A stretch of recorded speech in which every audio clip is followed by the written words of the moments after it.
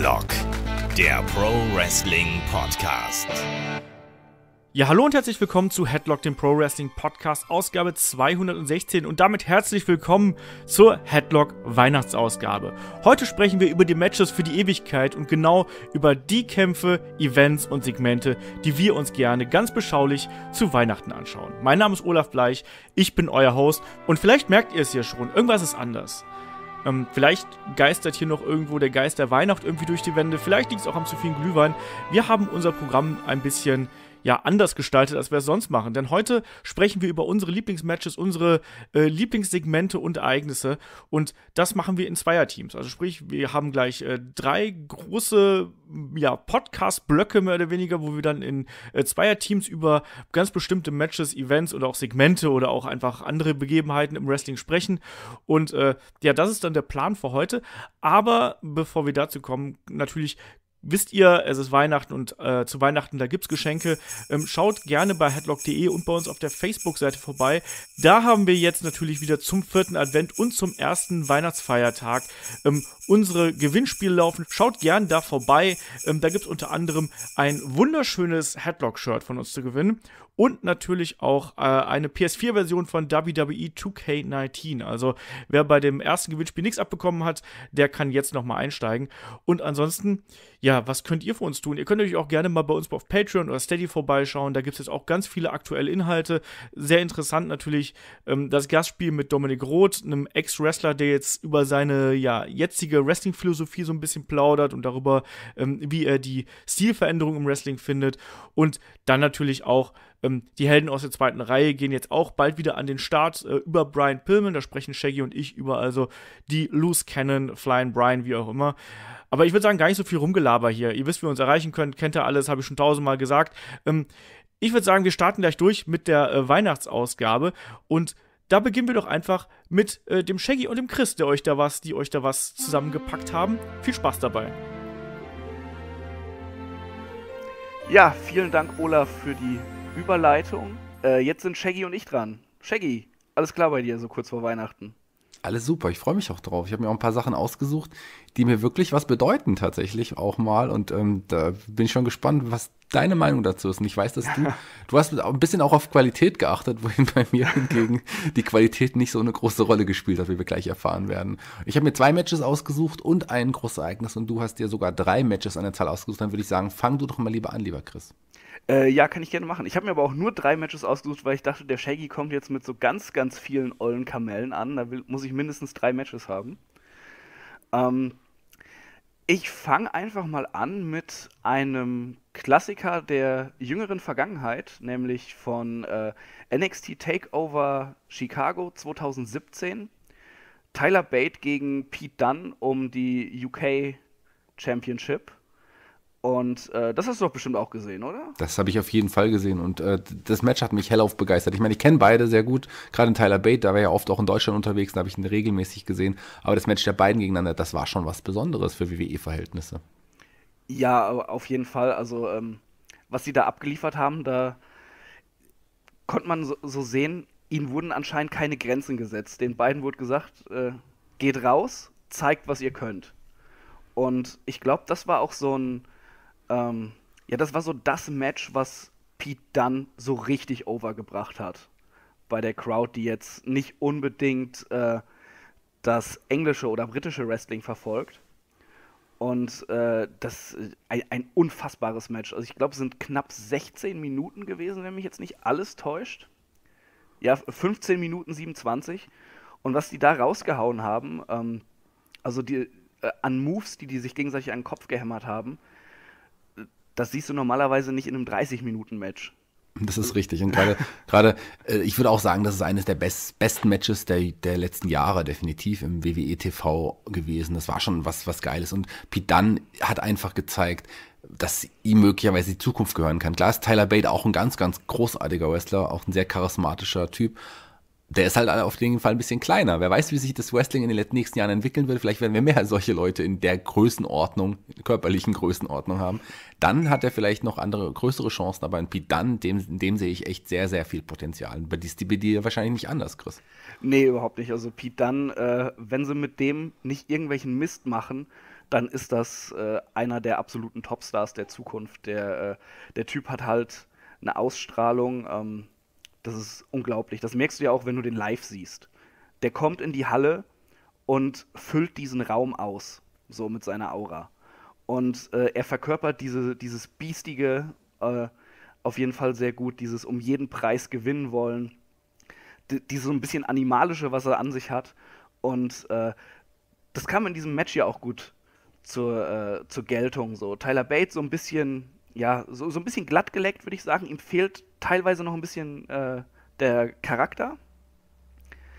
Ähm, und äh, ja, eher, eher so das, das glattere Babyface und Pete Dunn fängt direkt an mit seinen, äh, mit seinen fiesen Fingermanövern und, und was nicht allem.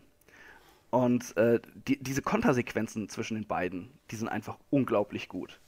Also man merkt wirklich, dass, äh, dass die zwei eben in der UK-Szene schon oft miteinander im Ring gestanden haben. Das ist so eingespielt und so gut, aber äh, es wirkt trotzdem unglaublich stiff und hart, was die sich da gegenseitig an den Kopf schmeißen. Also äh, relativ zu Anfang, wo er, äh, wo, Pete Dunn Tyler Bates schon auf, de, äh, auf den Apron haut, ähm, ouch. Also. ouch auf jeden Fall. Ja. Also ouch konnte man in dem Match auf jeden Fall ein paar Mal ganz laut rufen und wahrscheinlich haben das die beiden Kontrahenten auch mehrmals schon gedacht in dem Kampf. Das kann ich mir ganz gut vorstellen. Ja. ja dieses Fingermanöver hast du angesprochen, das ist, aber Pete Dunn ist also wirklich so ein Unikat. Also er ist wirklich, so, so einen gibt es nicht nochmal. Und das macht ihm schon, schon zu was ganz Besonderem. Und deswegen sehe ich auch so viel Potenzial in ihm. Ähm, Tyler Bate hast du gesagt, dem fehlt noch ein bisschen, ja, der Charakter, das ist richtig, aber er ist schon charismatisch. Er, er, er, er, strahlt irgendwas aus. Er ist am Mike, der aber auch noch nicht so gut. Also da fehlt ihm auch noch ein bisschen was. Mhm. Aber der hat Potenzial. Ihm kommt wirklich möglicherweise nur die, äh, seine Größe irgendwie eher zum Verhängnis irgendwann. Wir werden sehen. Auf jeden Fall ein gutes Match, was du ausgesucht hast. Magst du noch was dazu sagen? Äh, zu Tyler Bate würde ich noch was sagen. Ich glaube, mit seiner Größe ist es gar nicht so die Sache, weil äh, dieses Big Strong Boy Image, was er hat, das, das passt ja schon gut. Der Typ ist ja auch unfassbar stark. Also, äh, wenn man sich gerade so Matches gegen Heavyweights anguckt von ihm, ähm, also den kann man auf jeden Fall sehr gut vermarkten. Ich, es fehlt mir einfach noch so ein bisschen äh, so, so, ein Charakter, der greifbar ist. Und Dunn ist halt so ein, ja, so ein liebenswerter Drecksack einfach. Ja, das ist richtig. Das ja. ist ein guter Vergleich. Der Bruiserweight, ein liebenswerter Drecksack. Aber der, der ist auch ein geiler Heal, aber als Face ist er halt natürlich auch, auch kommt, kommt er auch rüber, wenn man diesen liebenswerten Drecksack so sieht. Aber als, als Heal ist er dann definitiv nicht liebenswert. Da war ja zu dem Zeitpunkt auch Heal. Mhm. Ähm, das ist schon mal nochmal eine andere Rolle und äh, ich finde, da passt er nochmal besser hin. Auf jeden Fall, aber ich glaube, momentan will ihn halt einfach keiner als Heal sehen, weil er so unfassbar gut ist. Das ist richtig. Das, das, ist halt so, so, so ein mitreißender Wrestler mit dem, was er im Ring macht und auch ähm, wie er seinen Charakter verkörpert. Also äh, das Match, solltet ihr es nicht gesehen haben, unbedingt nachholen. Solltet ihr es schon gesehen haben, guckt es euch nochmal an. Das ist äh, ja einfach richtig geiles Wrestling. Äh, da kann man äh, die Verwandtschaft vielleicht auch mal mit anfixen, wenn man das über die Weihnachtstage sich anschaut. Ja, das ist auf jeden Fall ein Match, was andere Leute auch dazu bewegen könnte, regelmäßig Wrestling zu schauen. Da stimme ich dir zu. Wir haben zwei große Erfolgserlebnisse von Tyler Bate nicht genannt, die möchte ich gerne hier nochmal nennen. Wahrscheinlich seine, ja, seine drei größten Erfolge. Das eine war natürlich der Gewinn des erste, erste NXT UK-Titel. Die anderen beiden äh, Errungenschaften nennen sich Tony Storm und Liv Morgan. So. äh, okay, da weißt du mehr als ich. Da weiß ich mehr. Er war ja lange mit Tony Storm zusammen, auch als er in Deutschland war, quasi in der Zeit. Mhm. Ähm, und ja, und irgendwann nach der Trennung hat er sich mal Liv Morgan geangelt. Das ist ja auf jeden Fall auch eine Errungenschaft, muss man so sagen. Aber ähm, kommen wir doch zu einem Match, was ich mir ausgesucht habe, was wrestlerisch vielleicht nicht die Qualität erreichte, was dein Match jetzt gerade erreicht hat. Aber es trotzdem sich irgendwie mein Hirn gebrannt hat und ich mir extra für die Aufnahme jetzt nochmal angeschaut habe und habe mich auch gefragt, warum nur? Warum habe ich es mir nochmal angeschaut? Warum habe ich mich für dieses Match entschieden? Es ist äh, die ganz bekannte Battle Royale, möglicherweise die schlechteste Battle Royale, die man je gesehen hat, das auf der einen Seite. Es war die Gimmick Battle Royale bei Wrestling WrestleMania 17 im Jahr 2001. Also da hat sich die WWE gedacht, wir hatten ja in den 90ern so viele schlechte Gimmicks und auch äh, noch früher, ähm, die versammeln wir doch mal alle, die noch laufen können. Die versammeln wir in einem Ring. Oder auch nicht mehr so ganz laufen können. Oder nicht mehr so ganz laufen können. Einige konnten nicht mehr so ganz laufen. Wir können es einfach wegnehmen. Da war jemand dabei, ähm, ja, jemand, der Iron Sheik zum Beispiel, der gar nicht mehr richtig laufen konnte und von dem wusste man, der kann mit Sicherheit auch nicht übers oberste Seil gehen. Das schafft er gar nicht mehr. Von daher war eigentlich schon klar, dass der wohl auch gewinnen muss. Ähm, aber da waren so illustre Gestalten. Man hat ja wirklich alle einge eingebaut, die man noch finden konnte konnte, aber auch Manager tatsächlich. Also da war ja auch ein, ein ähm, äh, da war ein Brother Love dabei, da war sogar ein Jim Cornette dabei als Teilnehmer meiner Battle Royale.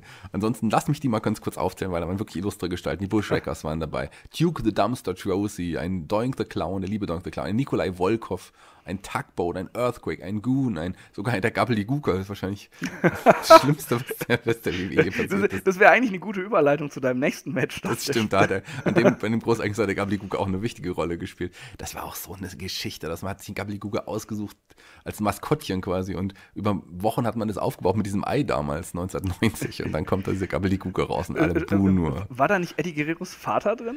Äh, sein Bruder, Hector Guerrero. Sein Bruder, so? Ja, das ist sein Bruder, der, naja, das war immerhin äh, ja, sein größter Erfolg von Hector Guerrero bei der WWE. Aber ich weiß nicht, ob Gabeliguka, aber er jetzt auch in, unter dem Kostüm gesteckt hat bei, bei der WrestleMania 17, das weiß ich nicht. Ein Michael Hayes war noch dabei, ein One-Man-Gang, ein, ein Kamala, der wie gut, zu guten alten Zeiten begleitet wurde von Harvey Whippleman sogar und Kim Shee. Also das war ähm, Steve Lombardi, der Brooklyn Brawler, als Kim Shee, der auch im, im Ring mit, mitgemacht hat und sogar der coole Repo Man und ein Sergeant Slaughter. Aber am Ende war es dann tatsächlich der Iron Sheik, der Hillbilly Jim zuletzt eliminiert hat. Hast du Tugboat vergessen? Tugboat, den habe ich, glaube ich, erwähnt, Tugboat. Und okay. diese, diese Gimmick Battle Royale, die dauerte keine vier Minuten, das musst du dir auch mal vorstellen. Da alle draußen. Und am Ende, als Iron Sheik feiern wollte, konnte man natürlich das amerikanische Publikum nicht so zurücklassen. Und dann hat Sergeant Slaughter nochmal seinen Sleeper Hold angesetzt und hat den, den Iron Sheik ins Land der Träume geschickt für 20 Sekunden oder so. Also das, du hast es dir doch auch nochmal angeschaut, oder nicht, oder? Äh, ich ich, ich habe es mir tatsächlich nicht nochmal angeschaut, äh, weil du das Match so spät geschickt hattest. Ja. Äh, aber ähm, ja, ein, ein großartiger Quatsch. Also, äh, sollten eure Verwandten Vorurteile gegenüber Wrestling haben, dann bestärkt sie, indem ihr ihnen ja, dieses ja, Match zeigt, wolltest du genau, sagen. Genau, dann bestärkt ihr sie darin, wenn ihr über die Feiertage sagt, komm, Oma, wir gucken mal die Gimmick Battle Royale. Ja, das also der, allein der Einmarsch der Wrestler hat ja länger, also ich glaube, der, der, der Einmarsch des Iron Sheik allein hat länger gedauert, als bis endlich zum Ring war, als die ganz gesamte Gimmick Battle Royale insgesamt. Aber es ist schon was Witziges gewesen. Ich meine, ich habe die ganzen Charaktere damals alle schon mitgemacht und es war schon witzig, die alle wieder zu sehen. Auch ein, ein Brother Love als, als in dem Fall als, als, als Wrestler mit seinem roten Kopf. Und warum auch immer war da, war, war da ein Jim Cornette dabei. Das habe ich auch nicht verstanden man hat ja nicht mehr so viele äh, ja noch Lebende aus der Anfang der 90er gehabt, die man jetzt noch einsetzen konnte mit ihren Gimmicks. Von daher musste man sich mit denen zufrieden geben. Und das war schon echt schwere Kost, aber irgendwie unterhaltsam, die Leute nochmal zu sehen. Aber die sind alle zum Teil, also ein Reaper Man zum Beispiel auch in die, in die Breite so ein bisschen gegangen. Also ein, ein, Michael Hayes, der sah noch ganz fit aus, der sieht ja heute immer noch so aus wie damals. Mhm. Aber ansonsten, naja, also sagen wir mal, ansonsten hüllen wir den Mantel des Schweigens über diese Battle Royale. Aber irgendwie hat die schon ihren Bestand in der Geschichte und ich finde es doch cool, das nochmal gesehen zu haben. Aber ich hoffe, ich vergesse es jetzt wieder und schaue es mir vielleicht frühestens in 20 Jahren nochmal an. also eher sowas, äh, wenn ihr alleine seid zu Weihnachten und wollt mal richtig lachen und richtigen Wrestle-Trash sehen, dann die Gimmick Battle Royale anschauen. Nee, auch die nicht. Aber man kann da auch nicht wirklich lachen mit offenen Mund und denkt sich, oh Mann, gerade der Iron Sheik, der wirklich kaum noch laufen konnte, der gewinnt dann am Ende auch noch. Aber naja, egal. Warum Schaut, hast du es dir dann ausgesucht? Ich weiß es nicht mehr, aber ich habe eine positive Erinnerung. Ich werde es jetzt vergessen und wie gesagt, in 15 Jahren wahrscheinlich wieder denken, ach, das gucke ich mir mal wieder an. Das war doch, glaube ich, ganz witzig, die ganz alten Charaktere nochmal zu sehen. Mhm. Aber es ist auf jeden Fall tatsächlich was, was irgendwie Teil meiner Geschichte irgendwie ist und warum auch nicht. Äh, ja, äh, wunderbar. Da schaue ich mal, ob du die Qualität jetzt mit deinem Match, mit deinem Match, nächsten Match, was du dir ausgesucht hast, noch anheben kannst. Ich glaube doch sehr. Äh, Egal, was jetzt kommt. Schau, auch wenn du das Blindfold-Match von Jake the Snake Roberts gegen Rick Martell, auch wenn du jetzt ähm, den Finger auf, auf Doom oder so raussuchen würdest, selbst das wäre besser als diese Gimmick Battle Royale. äh, nein, ich äh, gehe ins Jahr 2016 zu Extreme Rules da gab es ein wunderschönes, sehr, sehr actionreiches Match. ein Fatal Four Way um die Intercontinental Championship zwischen Titelträger The Miz, Cesaro, Kevin Owens und äh, Sami Zayn. Und äh, ich habe immer so den Eindruck, dieses Match ist so ein bisschen untergegangen. Vielleicht auch, weil äh, bei der gleichen Show noch dieser sehr geile Main Event war zwischen Roman Reigns und AJ Styles. Mhm. Ähm, aber dieses Fatal Four Way war absolut fantastisch. Das geht, äh, lass mich kurz nachschauen, ähm, etwas über 18 Minuten. Und dieses Match ist so unfassbar vollgepackt mit Action. Das ist unglaublich. Ähm, es, es, fängt halt direkt an, äh, also Ringgong läutet, Sami Zayn läuft sofort auf Kevin Owens zu und verpasst ihm den Helluva-Kick. Äh, weil damals hatten sie ja noch die Fehde. Ähm, und äh, einfach großartig. Allein die Reaktion von Cesaro, als er, als er diesen Kick sieht. Und äh, von da an geht es eigentlich nur noch ab. Also, äh, ob jetzt nur zwei Mann im Ring sind, drei Mann, alle vier. Äh, es ist ein Hin und Her von geilen, spektakulären Manövern, tollen Kontersequenzen, äh, wirklich unfassbaren Nearfalls, wo, wo du halt merkst, wie diese ganze Halle denkt, okay, jetzt ist vorbei. Nein, jetzt ist vorbei, jetzt ist vorbei. Und diese Halle ist von, keine Ahnung, ja, ich glaube, ich glaub, seit dem Kick von Zane an, an Owens ist die dabei und fiebert richtig mit und, und äh, blüht immer weiter auf einfach. Und es ist unfassbar laut in diesem Match. Äh, es, es geht Schlag auf Schlag einfach nur. Du weißt hinterher einfach nicht mehr, wer kann, dieses, äh, wer kann das Ding gewinnen. Das, also es kommt jeder in Frage. Ähm, und Cesaro liefert in diesem Match eine unglaubliche Leistung. Also ich weiß noch, als ich das damals geguckt hatte, da war ich mir sicher, nach diesem Match haben die jetzt einen, einen großen Singles-Push für Cesaro vorgesehen. Weil äh, das war halt wirklich so, so, so ein Showcase einfach für ihn. Einmal für die Fehde Owens gegen Zayn, ein Showcase, was super geklappt hat. Und für Cesaro alleine, der ähm, einfach super viele Aktionen ausgeführt hat, der eigentlich der Held so, so dieses Matches war und auch unfassbar viel gefressen hat und trotzdem immer wieder ausgekickt ist. Bis dann natürlich gut äh, zum Schluss äh, The Miz sich den Sieg ergaunert hat, aber das war äh, ein wirklich sehr, sehr schnelles, spektakuläres, spannendes und auch super spaßiges Match. Also ähm, ich könnte dir jetzt so aus dem Stegreif nicht sagen, ob ich schon mal in der WWE ein besseres Fatal Four Way gesehen habe. Ja, auch bei den Namen her. Wobei The Mist wirkt natürlich wie ein Fremdkörper vom Namen irgendwie, aber tatsächlich hat er doch, also weil ich mich erinnere, richtig gut in dieses Match noch irgendwie gepasst, so ein Charakter. Ja, ja weißt du was, äh, Miss vom Namen her, man, man verbindet ja immer noch den alten Miss so ein bisschen damit. Ja. Denkt man immer, ja, okay, äh, Fremdkörper oder so, aber das, der ist halt auch ein richtig guter Wrestler geworden, da kann man ja auch nichts gegen sagen. Also was der gerade so in den letzten, ja, dreieinhalb, vier Jahren oder so für Matches gehabt hat mit Leuten, der ist ja richtig gut. Und äh, wenn du dann halt ja wirklich so hochklassige Catcher noch mit ihm im Match hast, die dann noch das Tempo äh, vorgeben, dann äh, passt der da super rein. Aber auch, da hat man ja auch beim äh, Triple Threat gesehen, bei WrestleMania dieses Jahr mit äh, Finn und Seth Rollins. Ja, da da war er ja auch kein Fremdkörper oder sowas. Also, äh, also wirklich ein fantastisches Match, was unfassbar viel Spaß macht. Ähm, auch das ist meiner Meinung nach so ein Ding, das kann man einfach mal jemandem zeigen, so hier, guck mal, das ist Wrestling. Und der wird danach nicht sagen, oh, was für ein Quatsch oder sowas, äh, sondern eher beeindruckt sein von dieser äh, schnellen, richtig geilen Action, die, die da vorgeht. Also ein, ein wirklich richtig, richtig geiles Match. Ich kann es nicht hoch genug loben. Und obwohl es jetzt nicht äh, eins meiner absoluten Lieblingsmatches ist, wollte ich es einfach hier reinnehmen, weil ich halt so das Gefühl habe, das äh, wird oft von den Leuten vergessen. Das, äh, ich hatte auch nicht mehr dran gedacht, bis ich es gelesen habe und war dann am ersten Augenblick auch kurz überrascht, The Miss. Und dann eigentlich hast du vollkommen recht mit allem, was du gesagt hast. Klar sind die anderen drei große Indie-Stars gewesen. The Miss ist ja dann eher so ein WWE-Zögling, aber er hat sich unglaublich gut entwickelt und äh, ja, auch die Internetfans lieben ja The Miss inzwischen auch. Mhm.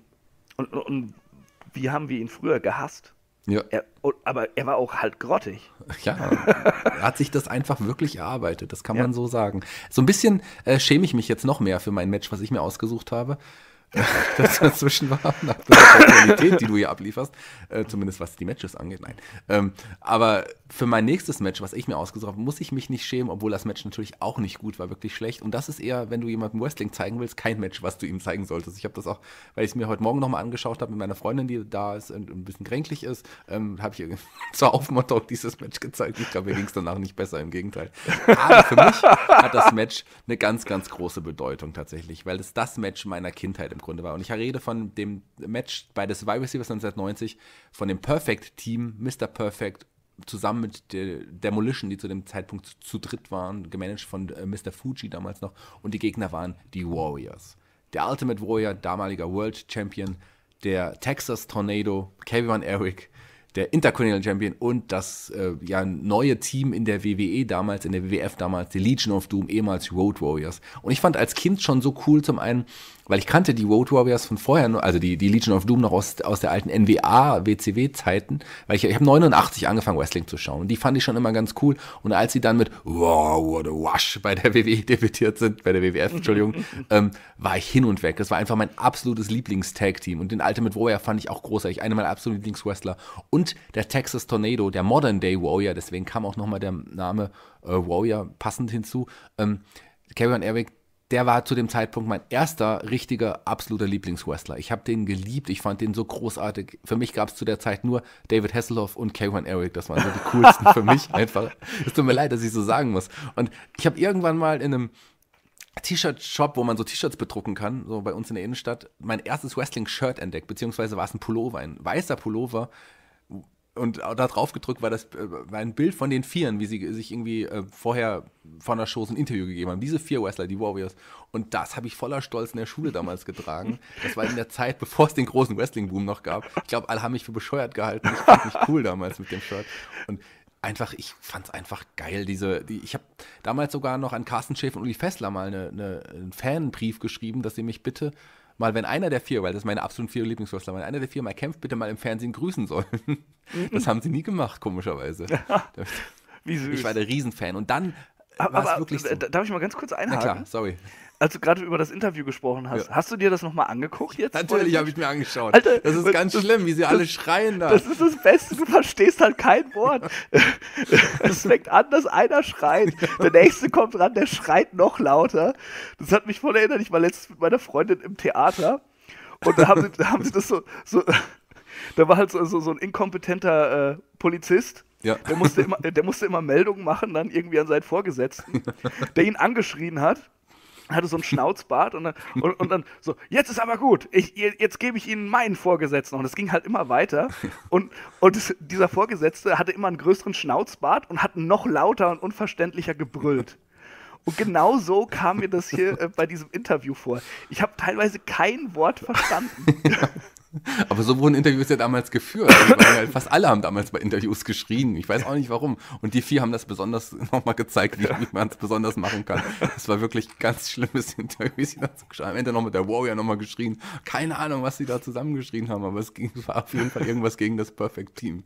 Aber, und das Match selber, das ist natürlich auch ein Match zum Abgewöhnen, so ein bisschen. Also, mh, hm, da gab es dann irgendwann im K, als erstes wurde, glaube ich, damals äh, ähm, Ex eliminiert, der sowieso schon äh, gesundheitlich angeschlagen war. Deswegen kam ja Quash überhaupt damals in dieses, äh, in, zu Demolition noch hinzu. Und dann wurden plötzlich die Legion of Doom und Demolition disqualifiziert, weil sie zu viert aufeinander losgegangen sind. Warum auch immer. So hat man einfach mal alle gleich dann disqualifiziert.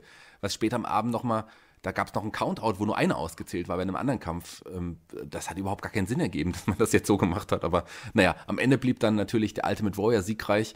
Und äh, ja, und bei dieser Weise gab es ja noch so ein Finale, wo dann die ganzen Sieger der ganzen Elimination-Teams nochmal gegeneinander angetreten sind. Das fand ich ganz witzig.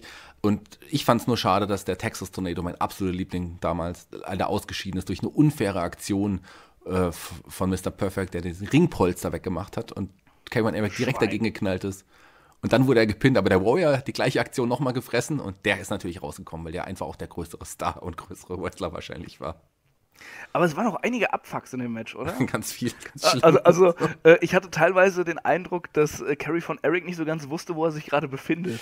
Nee, der hatte auch nicht so seine beste Zeit. Also ich meine, der hatte eine gute Zeit, der war sehr erfolgreich die WWE, aber der hatte nun leider einen sehr, sehr kurzen, erfolgreichen Run. Der hatte ja auch Drogenprobleme, Alkoholprobleme. Mhm. Ähm, dann wurde irgendwann, kurze Zeit später gab es den Steroidskandal, der ihn auch erstmal eine Zeit aus den Kamera, von den Kameras weggebracht hat. Und naja, also sagen wir mal so, der hat ja dann auch ein unrühmliches Ende wie ein Großteil der Van Eric-Familie. Mhm. Aber für mich war es halt, das habe ich ja alles damals nicht gewusst. Ich fand den einfach toll, weil ich fand, der sah cool aus. Der sah nicht mal cool aus jetzt im Nachhinein betrachtet. Aber damals fand ich, dass er cool aussah. Und ich fand den einfach cool. Und deswegen hat das Match für mich eine ganz, ganz besondere Bedeutung. Sicherlich wrestlerisch gesehen. Ähm, ja, sollten wir auch hier den Mantel des Schweigens drüber hüllen. Aber ich, ich fand es eigentlich ganz unterhaltsam, als ich es mir jetzt angeguckt habe. Also es, es, geht ja knapp äh, 15 Minuten und es kam mir nicht so lange vor. Also ich fand es lustig. Und vor allem kann man äh, in diesem Match mal wieder sehen, wie unglaublich gut Mr. Perfect einfach war. Ja, das muss man sagen. Mr. Der, Perfect, der hat dieses komplette Match zusammengehalten der, der strahlt einfach äh, überstrahlt, alles überstrahlt. Das war mit Abstand der beste Wrestler in dem Kampf. Mit Abstand wohl. Das war wahrscheinlich auch des ganzen Großereignisses. Ähm, das ist einfach ein großartiger Wrestler, der leider auch zu früh von uns gegangen ist und bei dem es mir wirklich schade ist, dass der noch nie dann einen World Title, einen großen World Title erringen konnte in der WWE, WWF oder auch in der WCW nicht. Und wir haben ja auch, glaube ich, die erste Folge der Helden aus der zweiten Ralle und äh, Ralle, Reihe, erste Helden aus der zweiten Reihe unseres ähm, ja, Patreon und Steady Formates ähm, extra Mr. Perfect gewidmet gab, weil er wirklich der Prototyp des Helden aus der zweiten Reihe mhm. irgendwie ist. Das ist ein, einer der größten Wrestler aller Zeiten, der viel zu wenig gewürdigt wurde, leider. Ähm, was ich noch zu, den, zu diesem Survivor Series Match sagen wollte, das wurde ja auch richtig gut aufgebaut. Aber man hatte ja damals in dem Jahr nur vier Großereignisse. Aber es gab im Vorfeld, gab es noch diese Survivor Series Showdown Veranstaltung und davor noch ein Saturday Nights Main Event, wo die Fehde der schon losging. Bei Saturday Nights Main Event gab es damals schon ein Aufeinandertreffen vom Ultimate Warrior und den Road Warriors gegen Demolition. Und beim Survivor Series Showdown, das war das der Main Event Texas gegen Smash und da griffen alle nochmal ein am Ende und so wurde das Match richtig gut über Monate schon aufgebaut. Das fand ich halt, das ist etwas, was es heutzutage nicht so gibt. Und das war schon was Besonderes. Und das fand ich cool. Mich hat das damals wirklich richtig, richtig geflasht. Und ich hoffe, ich habe irgendwo diesen weißen Pullover noch. Wahrscheinlich wird er mir nicht mehr passen, aber den kann ich dann voller Stolz poste ich mal ein Foto, wenn ich den mal finde. ja, such mal bitte, den will ich das sehen. Ich gerne. Okay, du, aber ein, wir müssen jetzt weitermachen mit einem wirklich guten Match mal wieder. Du hast, glaube ich, noch ein gutes mitgebracht. äh, ja, äh, ich habe tatsächlich noch ein ziemlich gutes Match dabei. Ähm, auch hier nicht eines meiner äh, Top 10 Matches of all time, sondern auch wieder einfach ein sehr, sehr gutes, was mich damals sehr beeindruckt hat, wo ich so ein bisschen den Eindruck habe, dass es ähm, bei vielen in Vergessenheit geraten ist. Und zwar vom äh, WWE One Night Stand 2008 das TLC-Match Edge gegen Undertaker um die vakante World Heavyweight Championship. Äh, mit der Stipulation, wenn der Undertaker verliert, muss er die WWE verlassen. Äh, ja, sieht man ja, was draus geworden ist. Ne? ähm, aber das war ein verdammt gutes TLC-Match. Und ähm, es hatte natürlich auch diesen Hauch des Besonderen, weil das ja eigentlich so, so ein Gimmick-Match ist, wo man sich den Undertaker nicht wirklich drin vorstellen kann. Ja, das stimmt. Und es war, sein, es war auch sein erstes TLC-Match. Und auch zu dieser Zeit war der Undertaker ja schon äh, ja, ein ziemlich alter Knochen, um es mal so zu sagen. Und auch nicht mehr so super in Schuss, obwohl er da irgendwie so von 2006 bis 2009 rum ja einen richtig geilen Run hatte, wo er wirklich fette Matches abgeliefert hat. Ähm, aber äh, ja, das Match wurde ja auch dann dazu genutzt, auch um hinterher dem Undertaker eine Pause zu geben. Deshalb äh, hat er ja auch dann verloren, schlussendlich. Aber äh, es war einfach unglaublich, äh, äh, so diese Zeit zu sehen, was der Undertaker dann noch abgeliefert hat. Man dachte immer, okay, irgendwie so in den nächsten zwei Jahren oder so hört er wahrscheinlich auf. Auch nichts draus geworden. äh, und der hatte da wirklich wie so einen zweiten Frühling. Und äh, diese komplette Fehde mit Edge war großartig. Die ging ja sogar noch über dieses Match raus, dann hinterher bei einem Hell in a Cell, beim oh, SummerSlam, wenn mich nicht alles täuscht. Und ja, und ähm, WrestleMania Main Event hatten die beiden doch auch. Den hatten sie ja vorher. Ja. Noch. Also das ging ja wirklich über ein Jahr eigentlich, diese Fehde, mit ähm, äh, Edge casht sein Money in the Bank Koffer ein und, und screwt den Taker und dann gab es ja noch das Hin und Her mit Batista und äh, also es, es, war wirklich super geil auch aufgebaut. Die beiden hatten äh, eine gewisse Chemie und äh, der Taker war sich in diesem Match auch echt nicht zu schade, einige Sachen zu fressen. Also gerade so ähm, äh, das Finish von dem Match, wo, äh, wo der Taker von dieser riesigen Leiter runtergeschubst wird und durch vier Tische knallt. äh, nach draußen, das äh, ist schon heftig. Und da hast du halt auch äh, gemerkt oder merkst es immer noch, wenn du es dir anguckst, dass diese Halle da doch mal kurz die Luft anhält. Ja. ähm, und sowieso, das, das hat Spaß gemacht. Also die beiden haben sich ordentlich gegeben, sowohl mit Tischen als auch Leitern und Stühlen eben. Und äh, es gab dann halt auch noch so ein paar Eingriffe, wo man auch so, so, so schöne äh, Oldschool Undertaker-Momente hatte. Ähm, wir hatten ja vor kurzem noch bei, äh, bei Match of the Week über den Royal Rumble gesprochen ge gegen Yokozuna, wo, wo dann alle gegen ihn eingreifen und so. Und das war so ein bisschen so eine Hommage fast, äh, wo dann die Edgeheads, falls du dich noch erinnerst, ja, dann zwischendurch eingegriffen haben. Zack Ryder und Kurt Hawkins. Na klar. Äh, und beide erstmal äh, mit einem Chokeslam durch den Tisch befördert wurden dann nach draußen. Und dann kam noch äh, Chavo Guerrero und sein, äh, sein Hiwi, von dem ich den Namen vergessen habe, der auch nicht lange in der WWE war, glaube ich. Ja, ich, ich komme gerade auch nicht drauf, aber ich so, weiß noch. So ein bisschen war, dickerer mit Glatze. Ja, das war die La Familia-Zeit auch irgendwie. Ja, ja, genau, das ja, war die La Familia-Zeit. ich komme nicht, komm nicht, auf den Namen, aber äh, die haben Ist auch, auch nicht schlimm, tatsächlich. Den Namen braucht man auch nicht, sich nicht merken. Die haben auch noch mal aufs Maul gekriegt.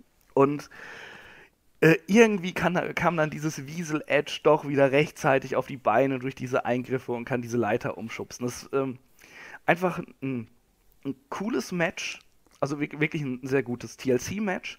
Dann einmal äh, dieses herausgehobene, dass der Undertaker eben in einem TLC-Match ist.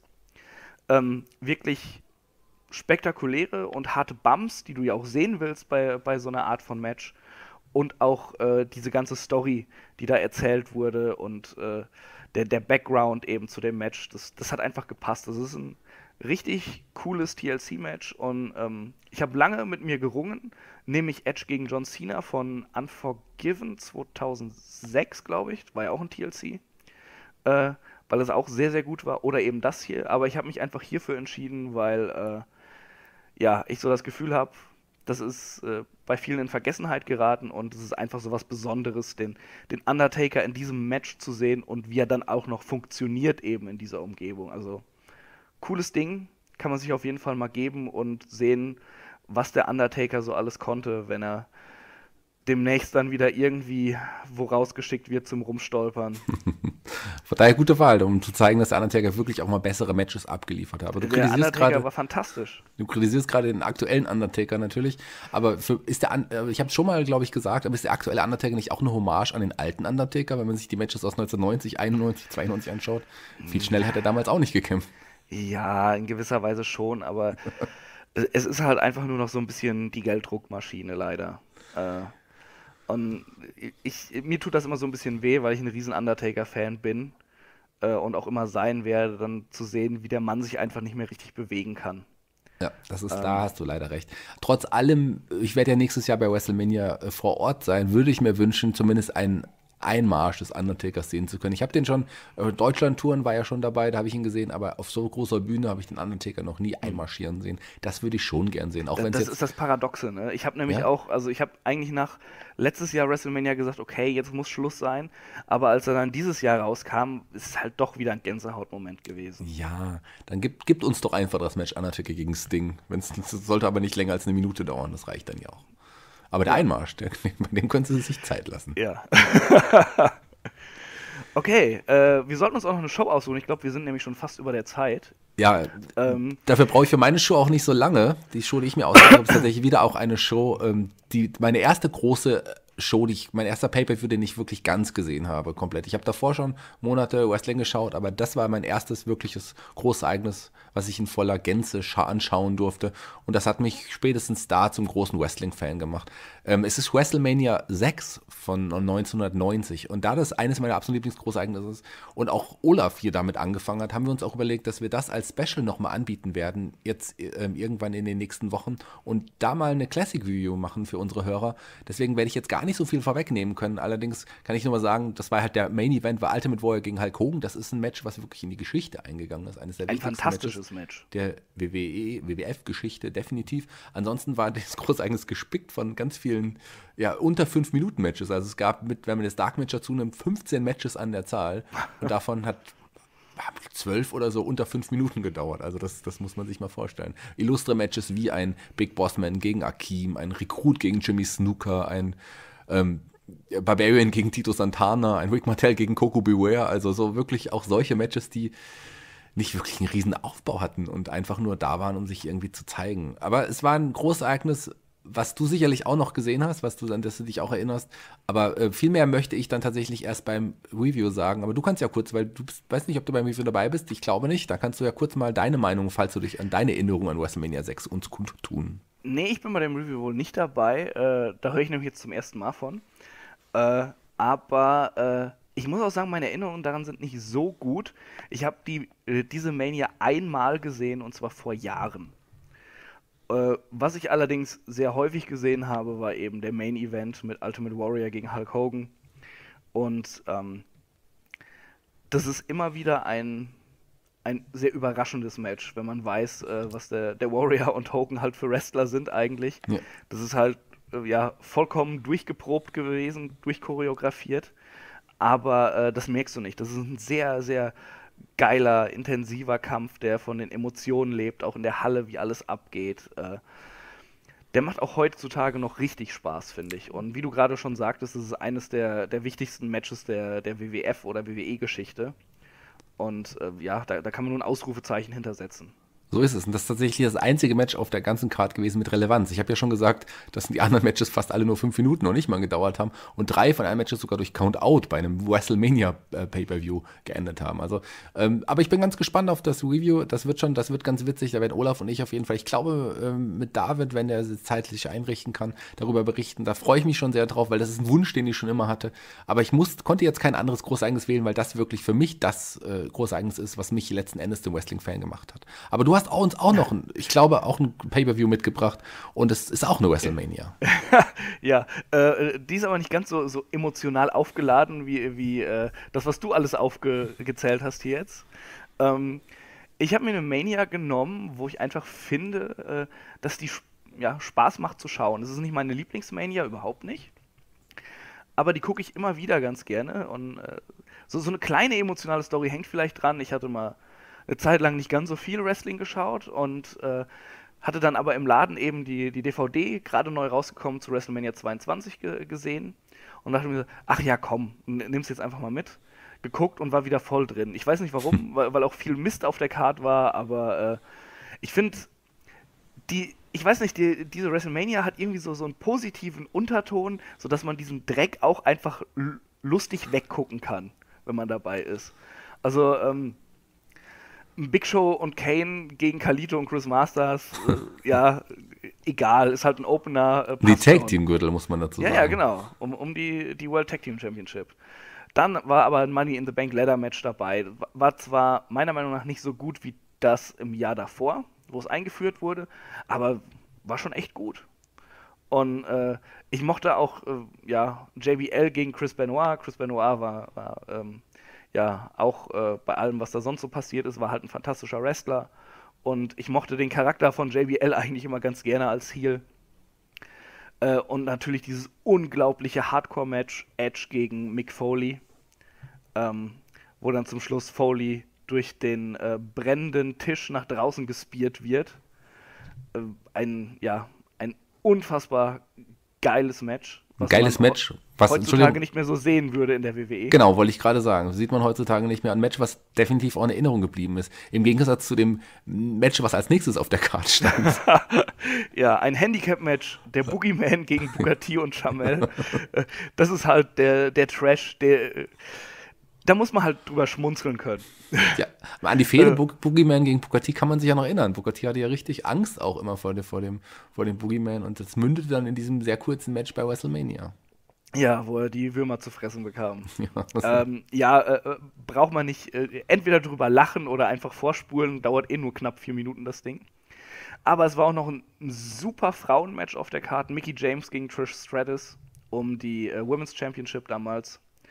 Äh, eine aufgebaute Fehde tatsächlich für die damalige Zeit, auch nicht so das Übliche. Und halt einfach, ähm, ja, zwei absolute Könner. Ja, eine richtig also, gute Fehde auch. Also ja. die äh, Frauenfehde neben Trish und Lita auf jeden Fall, die die Zeit damals geprägt hat. Das war geile, Mickey James war ein geiler Charakter. Also ich fand das toll und ich habe mich damals auf dieses Match sehr gefreut. Das Match war auch nicht schlecht. Das Match fand ich echt klasse. Also das war, glaube ich, so, so der, der Punkt, wo mir als, äh, als äh, ja, jugendlichem Smartmarkt dann zum ersten Mal klar wurde, hey, äh, Frauenwrestling kann auch richtig cool sein. Das ist nicht nur eine Pinkelpause. Ja.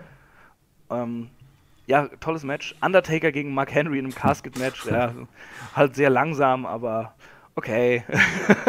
Ja, aber das sagt äh, Mark Henry, einer der Gegner, warum der Undertaker so viele Siege erreichen konnte bei WrestleMania. Das waren ja, groß, ja. größtenteils wirklich äh, King Kong Bundy und, und Karma, Mustafa, wen er da alles hatte. Also das waren ja schon äh, ja, Underkader, Mitkader, die er dann oft als Gegner mhm. hatte. Mark Henry war zu dem Zeitpunkt tatsächlich auch kein Main-Eventer. Das war ja nur kurzzeitig. Ähm, schlecht war das Match nicht, aber es war halt natürlich auch nicht gut. Nee, es war vor allem unfassbar langsam. Ja. Äh, Danach aber richtig spaßiges Match, wie ich finde. No Holds Barred, Shawn Michaels gegen Mr. McMahon. Äh, wenn man einfach mal so 20 Minuten sehen will, wie Vince McMahon verprügelt wird, was man wahrscheinlich gerne möchte, so wie Raw momentan aussieht, äh, einfach dieses Match gucken. Es ist hart und, und auch blutig, was auch sonst zur damaligen Zeit. Aber es ist auch verdammt witzig, denn es greift natürlich noch Shane ein, der dann noch auf die Fresse bekommt. Und die Spirit Squad kommt raus. Die äh, Spirit Squad. Die, die, dann auch noch abgefertigt wird. Äh, sehr, sehr schön. Also ich, ich gucke das Match immer wieder gerne. Ich finde es einfach unterhaltsam. Äh, dann hat man noch de, äh, das Triple Threat Rey Mysterio gegen Orton und Angle um die World Heavyweight Championship, wo Rey Mysterio World Heavyweight Champion wurde. Kann man nur drüber denken, was man will, aber Für war ein Eddie. schönes für ja, Eddie. Ja, ja, ganz schlimme Story. Kann man drüber denken, was man will, aber das war ein schönes, flottes Match. Äh, über den Playboy Pillow Fight zwischen Tori Wilson und Candice Michelle hüllen wir jetzt einfach mal das Mäntelchen des Schweigens. Was, bin ich ein großer Fan von, tatsächlich. Ja, ja, das war mir klar. ja, so. Also aber äh, sehr geiler Main Event okay. zwischen John Cena, der von komplett Chicago gehasst wurde, und Triple H äh, über 22 Minuten. Echt sehr, sehr guter Main Event den ich mir auch immer wieder gerne angucke. Also es ist halt einfach so alles bei äh, auf dieser Card und äh, deshalb finde ich, kann man die locker weggucken, hat Spaß dabei. Kann man auch mal so nebenher laufen lassen und äh, hoffen, dass äh, beim Boogeyman oder beim Playboy Pillow Fight nicht die Verwandtschaft in den Raum kommt. ja, das ist richtig. Bei beiden Matches nicht, das stimmt. Am besten niemand in den Raum kommen sollte. Ja. Ja, äh, gute Auswahl, finde ich. Hat Spaß gemacht mit dir, Chris, irgendwie. Ich hoffe, unseren Hörern hat es auch ein bisschen Spaß gemacht, mit uns in Erinnerung zu schwelgen. Äh, die anderen machen jetzt noch ein bisschen weiter, oder? Äh, ich denke doch. Also ich weiß nicht, in welcher Reihenfolge Olaf das geplant hat, aber äh, geben wir doch jetzt einfach mal zurück ins Studio. Also ja. und sagen, und sagen Tschüss und sagen Danke, Olaf, dass du uns ans Ende der Show gepackt hast, weil wir auch der wahre Main Event sind.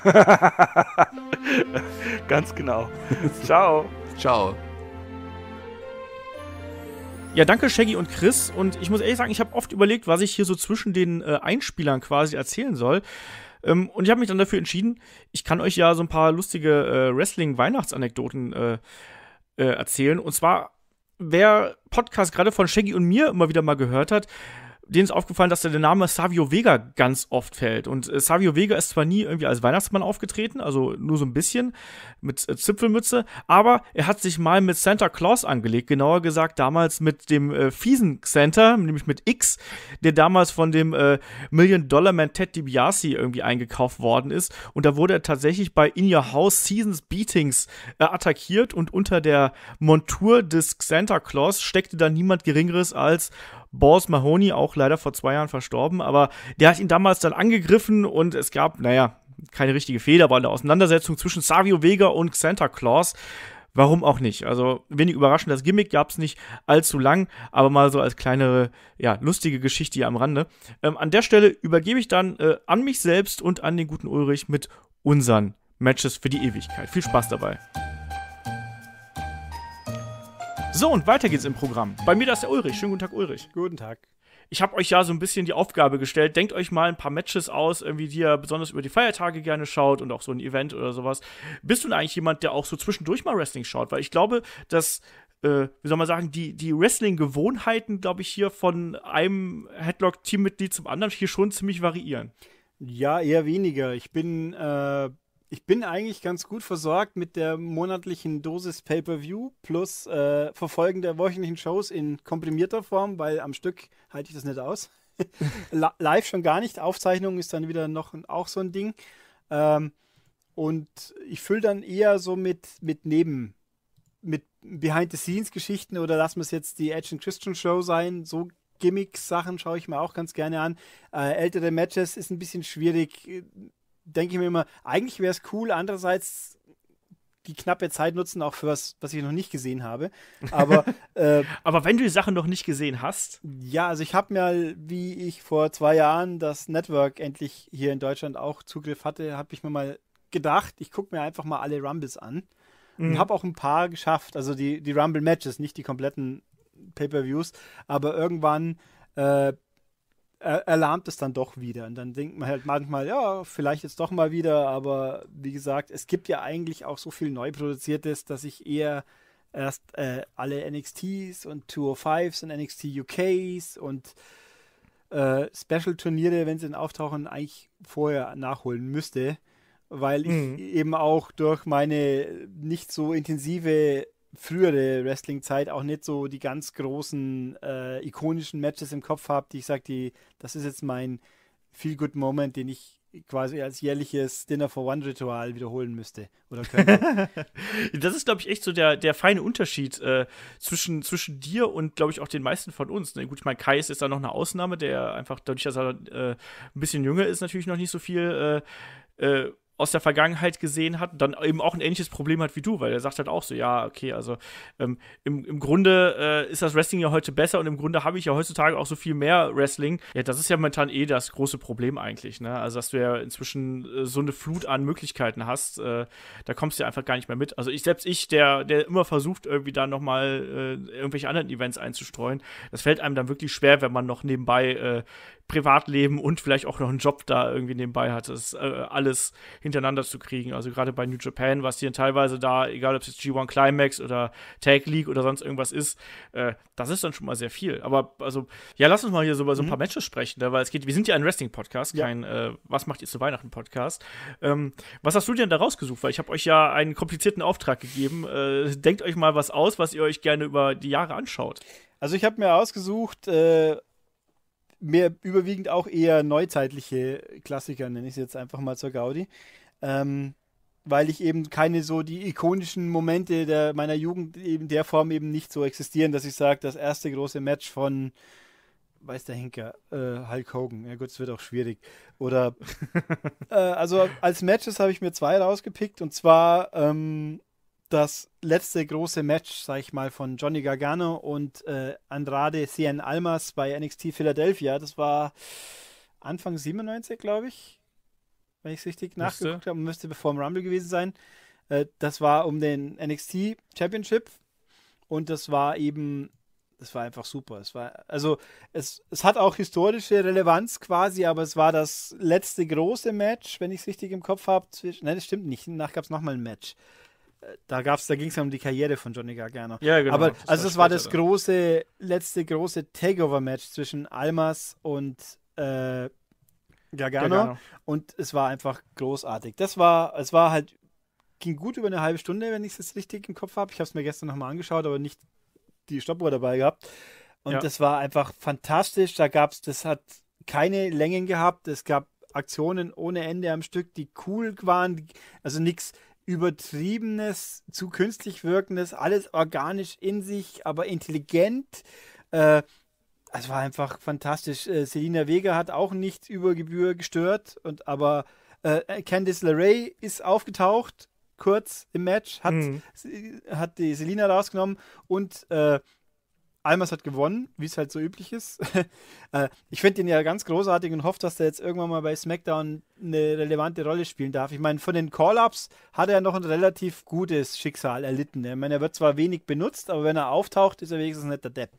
So das stimmt, aber er darf halt auch noch keine wirklich dominante Rolle spielen in irgendeiner Art und Weise. Nein, also er also darf ja immer dann die Dream Matches raushauen und immer sagt man so, ja, der, der Kampf war total geil und so, aber äh, er hat jetzt ja wirklich da noch im Main Roster noch gar keinen Charakter bekommen. Das ist halt so ein bisschen ärgerlich. Nee, sein Charakter ist ja eigentlich erst der Begleiter von Selina Vega, die ja kurioserweise im Main Roster mehr wrestelt wie sonst was macht und während sie bei NXT, ich glaube einmal hat man sie in einem TV-Match gehabt, in einem Mixed Tag sein, mit ja. ihm gegen LeRae und Gargano. Also, ich meine, sie kann ja wrestlen, aber sie ist halt auch sehr klein. Ja. Ich meine, die müsste man mal gegen Alexa Bliss in den Ring stellen. Dann würden sie ungefähr höhentechnisch, glaube ich, gut zusammenpassen. Ähm, jedenfalls, äh, ja, also das war einfach ein super Match. Und das ist mein Lieblings-Gargano-Takeover-Match, glaube ich. Ich meine, das hat auch Hat, gegen die ganzen Champa-Dinger. Ja, auch gegen die ganzen Ciampa-Dinger, weil das hat ja, also dieses eine Match war ja quasi die Rückkehr von Tommaso Ciampa. Da, Ja. Weil am Ende vom Match, als, äh, Andra Almas hat gewonnen, feiert, die Candice geht mit ihrem geschlagenen, aber heldenhaft geschlagenen Ehemann hinaus, der sich verabschiedet und dann kommt Ciampa von hinten und haut ihm die Krücke in den Rücken. Und oh Mhm. Gott, er ist wieder da. Das, also das ist quasi das Setup für die nächsten zwei Jahre seitdem, wenn man so will. Ähm, ich, diese, die ganzen Ciampa Gargano Matches sind alle toll. Manchmal ein bisschen viel des Guten, finde ich. Äh, aber ich finde, dieses Match hat halt, weil er auch vielleicht nicht diese Blutfede, irrationale Außenrum-Story, ich meine, ich mag ja Story in meinen Matches, wenn sie nicht zu sehr dominiert, das tut sie hier auch nicht. Aber sie muss nicht immer sein. Aber ich finde, bei Gargano und äh, Almas hat es einfach auch ohne die massive Story also schon perfekt gepasst und es war einfach ein Match, das nicht so sehr auf Blutfede, auf oh, wir machen uns fertig, sondern einfach, es ist ein geiles Match. Mhm. Und das- ah, und natürlich um die Titel, ne? Das war ja, Ja. auch noch ein ganz großer Punkt einfach. Ja, und das war einfach ein fantastisches. Ja, also ich fand es großartig auch. da kann, ja, kann man gar nicht einzeln rauspicken. Es ist so viel passiert in diesem Match und es ist einfach tolle Aktionen, beide massiv. Ich meine, auch da, wenn man so will, Almas war ja am Anfang irgendwie die ersten eineinhalb Jahre so da und pff, ja, warum klappt es mit ihm nicht? Und dann geben sie ihm die Vega dazu und dann wird super alles. Ja. Und, äh, und auch der Einmarsch von ihm ja mit, mit der Luchador-Maske und, den, und, den, und der Kapelle, äh, es war einfach. Ah, nein, es ist, es- das ist ein perfektes NXT-Match für mich gewesen. Das ist, das, das kann man tatsächlich nochmal anschauen. Das war ja auch damals ein ganz cooler Event, ne? Wenn du die, die Card anschaust, gab es auch noch das Extreme Rules Match mit Alistair Black und Adam Cole. Da weiß ich auch noch, dass wir da sehr begeistert damals davon gewesen sind. ne? Wir hatten noch äh, endlich mal Velveteen Dream, der auch mal einen Kampf gewinnen darf gegen äh, Cassius Ono damals und natürlich dann irgendwie Ember Moon gegen Shayna Baszler und die Undisputed Era gegen die Authors of Pain. Also, das ist auch ein Event, die kann man sich so in der Gänze anschauen. Ich glaube, das war damals nicht der, der beste Takeover, aber es war auf jeden Fall auch gerade durch die letzten zwei Matches wieder ein sehr, sehr guter Takeover. Ne? Also, äh, kann man, glaube ich, schon so machen. Generell, glaube ich, sind alle Takeover. Also, ich weiß auch, was, was die anderen äh, sich da rausgepickt haben. Also, da ist auch sehr viel NXT Takeover dabei. Also, das hat schon die letzten Jahre hindurch äh, sehr, sehr viel Spaß gemacht, einfach. Ja. Ich habe mir natürlich mal wieder was Älteres rausgesucht, ne? Damit ich auch mal hier an die Reihe komme. Ich habe mir, ich habe immer so ein paar Matches, da denke ich mir, Mann, ähm, die müsst ihr dir noch mal anschauen, weil äh, die sind so ein bisschen underrated, wie man so schön als Wrestling sagt. Ne? Und ich habe mir da, als Wrestling-Fan, ähm, und ich habe mir da einen Kampf vom SummerSlam 98 rausgesucht, ne? mit äh, äh, Triple H damals noch äh, bei der D-Generation X und The Rock sind da auf, in einem Leitermatch aufeinander getroffen. Und das Interessante dabei ist eben, dass das äh, ein ganz anderes Leitermatch gewesen ist, weil es war deutlich langsamer. Du hast zwei Heavyweights gehabt. Es war nicht unbedingt High-Flying, sondern es war stark bestimmt durch die Geschichte, die äh, erzählt worden ist. Das war nämlich dann äh, die Geschichte der Knieverletzung von äh, Triple H. Und äh, es war dann wirklich eine reale Knieverletzung, was dann letztlich dazu geführt hat, dass er dann eben den Titel wieder abgeben musste. Aber der Kampf war super intensiv, super interessant und gerade diese Zeit 98. Ich weiß gar nicht, hast du hast du mal Events aus der aus der Attitude Era dir dann mal so äh, im Nachgang angeschaut eigentlich oder hast du es damals geschaut? Ich habe es gerade gar nicht mehr genau im Kopf, wann du jetzt da aufgehört hast. Nein, also geschaut damals, nein, da bin ich mir relativ sicher. Ich glaube, ich habe Recaps gelegentlich gelesen. Also ich habe schon den, den, wie soll ich sagen, den ganzen Punkt mitbekommen. Und aber ich glaube, das meiste, was ich von damals gesehen habe, war im Rahmen von Monday Night War Doku zum Beispiel, die auch, die war richtig toll. Ist natürlich Das klar, stimmt. dass der, der Sieger erzählt die Geschichte. Ich meine, das- wie es halt so historisch immer ist, aber das war eine ganz tolle Doku-Serie, die ja auch im Network auch zu finden ist. Also am Schluss wiederholt sie sich natürlich ein Stück weit, weil 20 Folgen, so viel gab es dann doch nicht, dass sich nicht wiederholt. Aber das, da habe ich das meiste, glaube ich, aus der Attitude-Ära her. Aber so ganze Matches am Stück habe ich, glaube ich, tatsächlich, müsste ich jetzt lügen, wenn ich sage, ich hätte eins gesehen. Okay.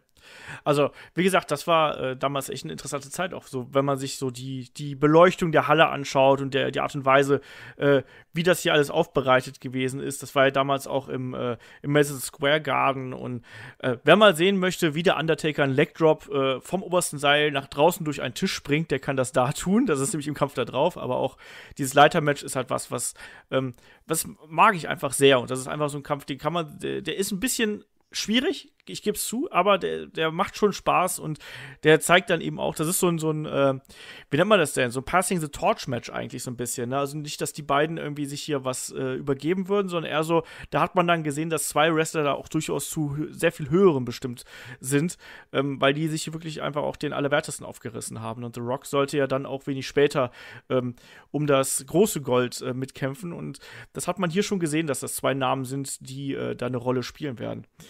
Ja, das ist das eine Match. Ich glaube, du hast auch noch ein Segment dir rausgesucht, was du noch äh, empfehlen wolltest, oder? Ich habe theoretisch zwei Matches, ein Segment und ein Event, richtig. Äh, also machen wir das zweite Match oder das Segment zuerst? Mach erstmal das Segment. Okay. Im Segment habe ich einfach zur Gaudi äh, das Festival of Friendship. Ja, das ist ja auch fantastisch. Vom letzten Jahr, weil einfach, ich meine, dass die, die, die großen, die TV-Shows, die wöchentlichen von SmackDown äh, und Raw sind ja gerne mal äh, länger wrestlingfrei, sag ich mal. Da wird dann gerne mal viel und länger geredet. Und dann kann man es eigentlich nicht viel besser machen, dass man Chris Jericho hinstellt und den spinnen lässt, in Anführungszeichen. Und als Gegenpart einen Kevin Owens, der ja, äh, wie soll ich sagen, das Arschloch echt gut kann. Äh, da waren sie halt echt noch so die Kumpels ja. und dann äh, der Verrat am Ende und genau. so. Das war dieser Gesichtsausdruck von Kevin Owens einfach über die gesamte Zeit ist ja. so großartig. So eben, so hier, wir sind beste Freunde und Chris J in Las Vegas natürlich das Ganze weil es da so gut hinpasst. Und dann wie eine Revue aufgebaut, feiert Chris Jericho ihre Freundschaft so in absurdest übertriebenen, mit, mit bizarren Kulturgeschenken. Bild, ein Bild und eine Statue. Und dann natürlich, äh, das war in der Zeit, wo er äh, vor Fastlane, glaube ich, war oder? Äh, also jedenfalls. Äh, das, ja, ja, ja, klar. Wo, Natürlich. Das, danach gab es das, das Match von äh, Kevin Owens und Goldberg. Genau. Und, und, wo, eben, ja. wo eben Chris Jericho äh, im, im Überschwang der Freundschaft äh, leichtfertig äh, Goldberg das Match mit Kevin Owens zugesagt hat um den Titel, dass der dann natürlich verlieren sollte mit äh, in einer, naja, über das Match braucht man nicht reden, das war nicht so toll. Aber dass es verliert, war klar, aber die Art und Weise hätte man vielleicht auch schöner machen können. Egal, das jedenfalls, stimmt. da wird dann gefeiert und weil sie ja doch so dicke Buddies sind und dann kommt hier, hier kommt Goldberg und dann ist Goldberg halt Gilberg. Was natürlich auch in dem Moment passend und witzig war. Und dann am Schluss hat halt Kevin Owens, nachdem er die ganze Zeit schon mit seinem WTF-Gesicht dasteht, hat er die Schnauze voll und macht dann Chris Jericho rund mit der List of KO. Ja. Ja, das war ein cooles Segment. Ich weiß, dass wir damals, also ich weiß, dass ich damals sehr, sehr viel über diese äh, Konstellation mit Jericho und äh, und Owens so ein bisschen geschimpft hat, weil ich immer das Gefühl hatte, dass Owens so ein bisschen untergegangen ist, aber äh, das hat am Ende wirklich alle, alle Kritik vom Tisch gewischt, weil das einfach so ein cooles Segment gewesen ist und Owens wirkte danach auch wieder wie ein Biest natürlich, dadurch, dass er seinen besten Freund verraten hat. Ähm, ich habe auch noch eine Storyline eigentlich, die ich mir gerne nochmal anschauen würde. So. Ähm, und ich habe da äh, ja so einen ganzen Zeitabschnitt eigentlich mal ausgewählt, weil ich fand das da damals, auch wenn es aus heutiger Sicht natürlich eine komplett verhunzte Zeit gewesen ist, ähm, die Invasion von äh, ECW, WCW in die äh, WWF damals, äh, also aus 2001, ähm, rausgesucht. Ne? Da, da ist vieles daneben gegangen, aber ich mag diese Zeit einfach unheimlich gerne. Also äh, als dann, als dann WWE oder WWF ähm, seine Konkurrenz aufgekauft hat und als dann wirklich mal das Gefühl hatte, es kann alles passieren. Es ist dann dummerweise nicht alles passiert, sondern es war einfach nur ein riesiges Durcheinander. Aber da ist so viel Gutes dabei und es ist auch so viel Blödsinn dabei. Also ich habe ja letztens noch mal eine Mail zu Chronic bekommen, die ja bei der WCW irgendwie schon ganz cool waren und dann bei der äh, WWF ja dann eher so, ein, ja, so eine beiläufige Chance bekommen haben damals gegen Kane und den Undertaker. Ähm, ja auch so Dinge, diese, diese ganze, ganze Invasion äh, im Vorfeld, wo man dann wirklich mal ein, ein Main-Event bei Raw gehabt hat, der aus Buff Bagwell gegen äh, Booker T bestand, äh, äh, einen DDP, der als Stalker vom Undertaker, von Undertakers Frau irgendwie aufgetaucht ist und dann auch hinter tatsächlich dieser Invasion-Angle und der Zusammenschluss von WCW und ECW. Das fand ich war eine witzige Zeit und ich muss auch ehrlich sagen, ähm, ich mag auch diesen, äh, also den, es gab ja einen einzigen Invasion Pay-Per-View dann auch tatsächlich 2001. Den mag ich bis heute sehr, sehr gerne, muss ich dazu sagen. Also das hatte, hatte ich auch als, als DVD damals und natürlich vor allem wegen dem Match zwischen äh, Jeff Hardy und Rob Van Dam. Das war, das war cool. Ähm, aber ich würde mir auch ganz gerne nochmal diese ganze Geschichte anschauen, weil das einfach so eine absurde ja, Epoche eigentlich fast schon gewesen ist. So, da habe ich jetzt ein bisschen was übersprungen, aber egal. Ich hätte auch tatsächlich hier spontan Lust, aber es ist halt aus Zeitgründen schwer machbar. Äh, ECW-technisch, es gab äh, zwei Sachen gibt es. gibt ja, war das dieses oder letztes Jahr, wo sie die Doku auf dem Network gemacht haben mhm. mit dem Rückblick. Das war sehr cool für Leute wie, wie mich auch, die, die natürlich wussten, dass es existiert, aber nie in echt gesehen haben. Und, und dann gibt es die 50 coolsten Momente, gibt es auch einen Countdown, der ist auch sehr, sehr interessant anzuschauen, weil man auch, wenn man das so sieht, was die da anstellen, denkt man sich, um Gottes Willen. Hey, was, die sind alle wahnsinnig. Das sind, ja. diese zwei historischen Sachen sind sehr cool. Ist auch lustig alleine, um die Dudley Boys in, Anzu in Krawatte und Anzug an einem Panel bei einer Diskussion zu sehen. Ist auch ganz witzig. Ähm, also, das ist ein cooles Moment. Und aus historischer, morbider Neugier, inzwischen ist es ja, glaube ich, im Network, der, wenn ich mich ganz der Run der, vom neuen ECW. Ja, die, ja. Auf Sci-Fi damals, was ja auch völlig absurd ist, dass ein Sci-Fi-Sender Wrestling ausstrahlt, wenn man so will. Ähm, äh, das, das mal reinzuschnuppern, wie diese moderne ECW-Geschichte mit Mischung aus echten ECW-Leuten und eigentlich WWE-Leuten so funktioniert hat und das, aber mei, die Zeit, auch hier wieder, weil da einfach eine beliebige Folge reinschauen bringt ja auch nichts, aber vielleicht probiere ich es doch mal und schaue zumindest mal die erste rein, ob es mich gleich abschreckt. Ja. Ja, also das, ah, das, das ist auch einfach diese repackaged ECW fand ich damals auch irgendwie ganz lustig in der Anfangsphase. Gegen Ende ist natürlich dann so ein bisschen ausgelaufen, irgendwie so ein bisschen ausgefranst. Das fand ich dann nicht mehr so spannend. Aber ich habe damals jetzt zum Glück noch dank äh, Premiere, glaube ich, war es noch, habe ich auch noch so die originalen äh, ECW-Sachen damals gesehen. Das war schon, das war schon unterhaltsam, muss ich sagen. So, äh, ja, ähm, hast du noch ein Event für uns? Ich habe noch ein Match und ein Event, aber das Event. Ja, dann mach, mach, mach das Match kurz das Match und kurz. Event lang. Äh, das äh, wäre anders schon besser, weil ich das Match wenigstens nochmal gesehen habe jetzt vorher. Aber schauen wir mal. äh, ich habe ja auch, wir haben ja vorher ein bisschen drüber geredet, wer was wie hat. Mir ist dann aufgefallen, die Frauen kommen ein bisschen kurz. Das stimmt. Ähm, habe ich mir jetzt rausgepickt. Es gibt sicher auch, also muss ich ehrlich sein, sicher Frauenmatches, die mich, äh, wenn ich jetzt noch die Zeit hätte exakter zu researchen, noch ein bisschen mehr faszinieren täten. Aber ein schönes Beispiel für Frauenmatches, die, nicht, die man nicht öfters sieht, waren jetzt die Mae Young Classics natürlich, die ja. ja freundlicherweise fortgesetzt wurden dieses Jahr und dieses Jahr eigentlich noch besser waren wie letztes Jahr, weil halt noch ein paar ikonische Menschen dabei waren, die aber nicht alle unterschrieben haben auf Dauer. Aber die Matches mit Meiko Satomura sind sehr sehenswert. Ja. Alle. Ich habe mir kon konsequent jetzt daraus gesucht, nochmal das, ihr letztes Match gegen Tony Storm. Aber auch das davor gegen Mercedes, Mercedes Martinez war sehr cool. Und die andere, etwas ältere Japanerin, die in der Runde vorher gegen Tony Storm verloren hat, deren Namen ich jetzt leider vergessen habe. Die mit dem bisschen kruscheligen Haar. Ich weiß gerade nicht, wie du meinst. Äh, Mia Yim meinst du nicht? Nee, die, meint, die ist ja auch keine Japanerin. das stimmt. Also ich guck mal, das muss ich jetzt kurz nachschauen, damit ich hier die Leute nicht hängen lasse. Moment. Young Classic 2018. Wie ist denn? Also jedenfalls, äh, weil man, äh, Moment, das war die gute Hiroyo Matsumoto jetzt. Ah, okay. Die fand ich auch sehr cool, weil die halt auch ein, vom Look her anders war wie die meisten anderen Japaner, eben mit, mit dem äh, gelockten Haar, sag ich mal. Allein ist es schon ungewöhnlich. Nein, äh, die Maiko Satomura ist ja offensichtlich, habe ich mich ja auch dann schlau gemacht, eine Ikone aus Japan, die ja. auch eine eigene Promotion beschreibt, die Yoshi Wrestling betreibt, die halt auch eben nicht so ein junges, hübsches Ding ist quasi, sondern halt eine reife Frau, die Power ausstrahlt, obwohl sie auch natürlich nicht die größte Statur hat, aber die halt einfach Wumms hat und ein, ja, halt eine, eine, eine harte Sau ist quasi.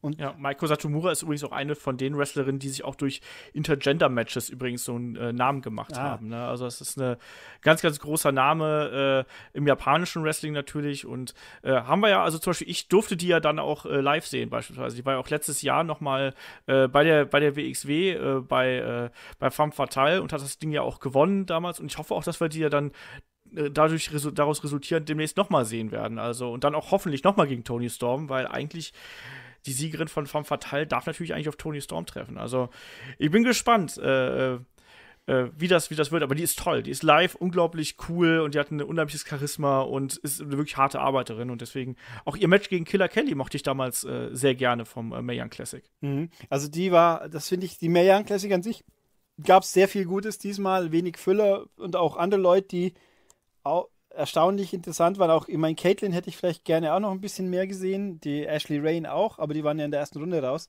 Also tolle Sache und eben, dass äh, Tony Storm und Meiko Satomura, das ist halt so ein Widerspruch. Was heißt Widerspruch? Beide hard-hitting, beide gut, können was, liefern intensives, tolles Match und dann die junge, zwar schon sehr erfahrene, aber immer noch sehr junge Tony Storm, die halt auch so ein bisschen Engels-out mit ihren blonden Haaren und das Gesicht, die wirken ein bisschen wie ein fieser Engel auf mich. Und dann halt eben diese, diese reife Meiko Satomura, das war ein tolles Match und da äh, das war auch besser als das Finale, wenn man mal ehrlich ist, weil das, so gut das auch war, das war in Anführungszeichen eine Enttäuschung bei Evolution, weil es auch so ja. kurz war. Und äh, also Enttäuschung bei Evolution, das ist übertrieben, aber wär, man hat sich mehr erwartet und in, in Relation dazu war es halt dann weniger. Ähm, ja. Also jedenfalls, das wäre jetzt mein Frauenmatch, wenn man nur mal so gucken möchte, das würde ich empfehlen, aber auch die ganzen Mae Young Classics sind cool und auch äh, grundsätzlich die NXT-Frauenmatches sind, neigen auch meistens dazu gut zu sein. Und im Main Roster gibt es auch schon inzwischen ja erfreulich viele gute, siehe eben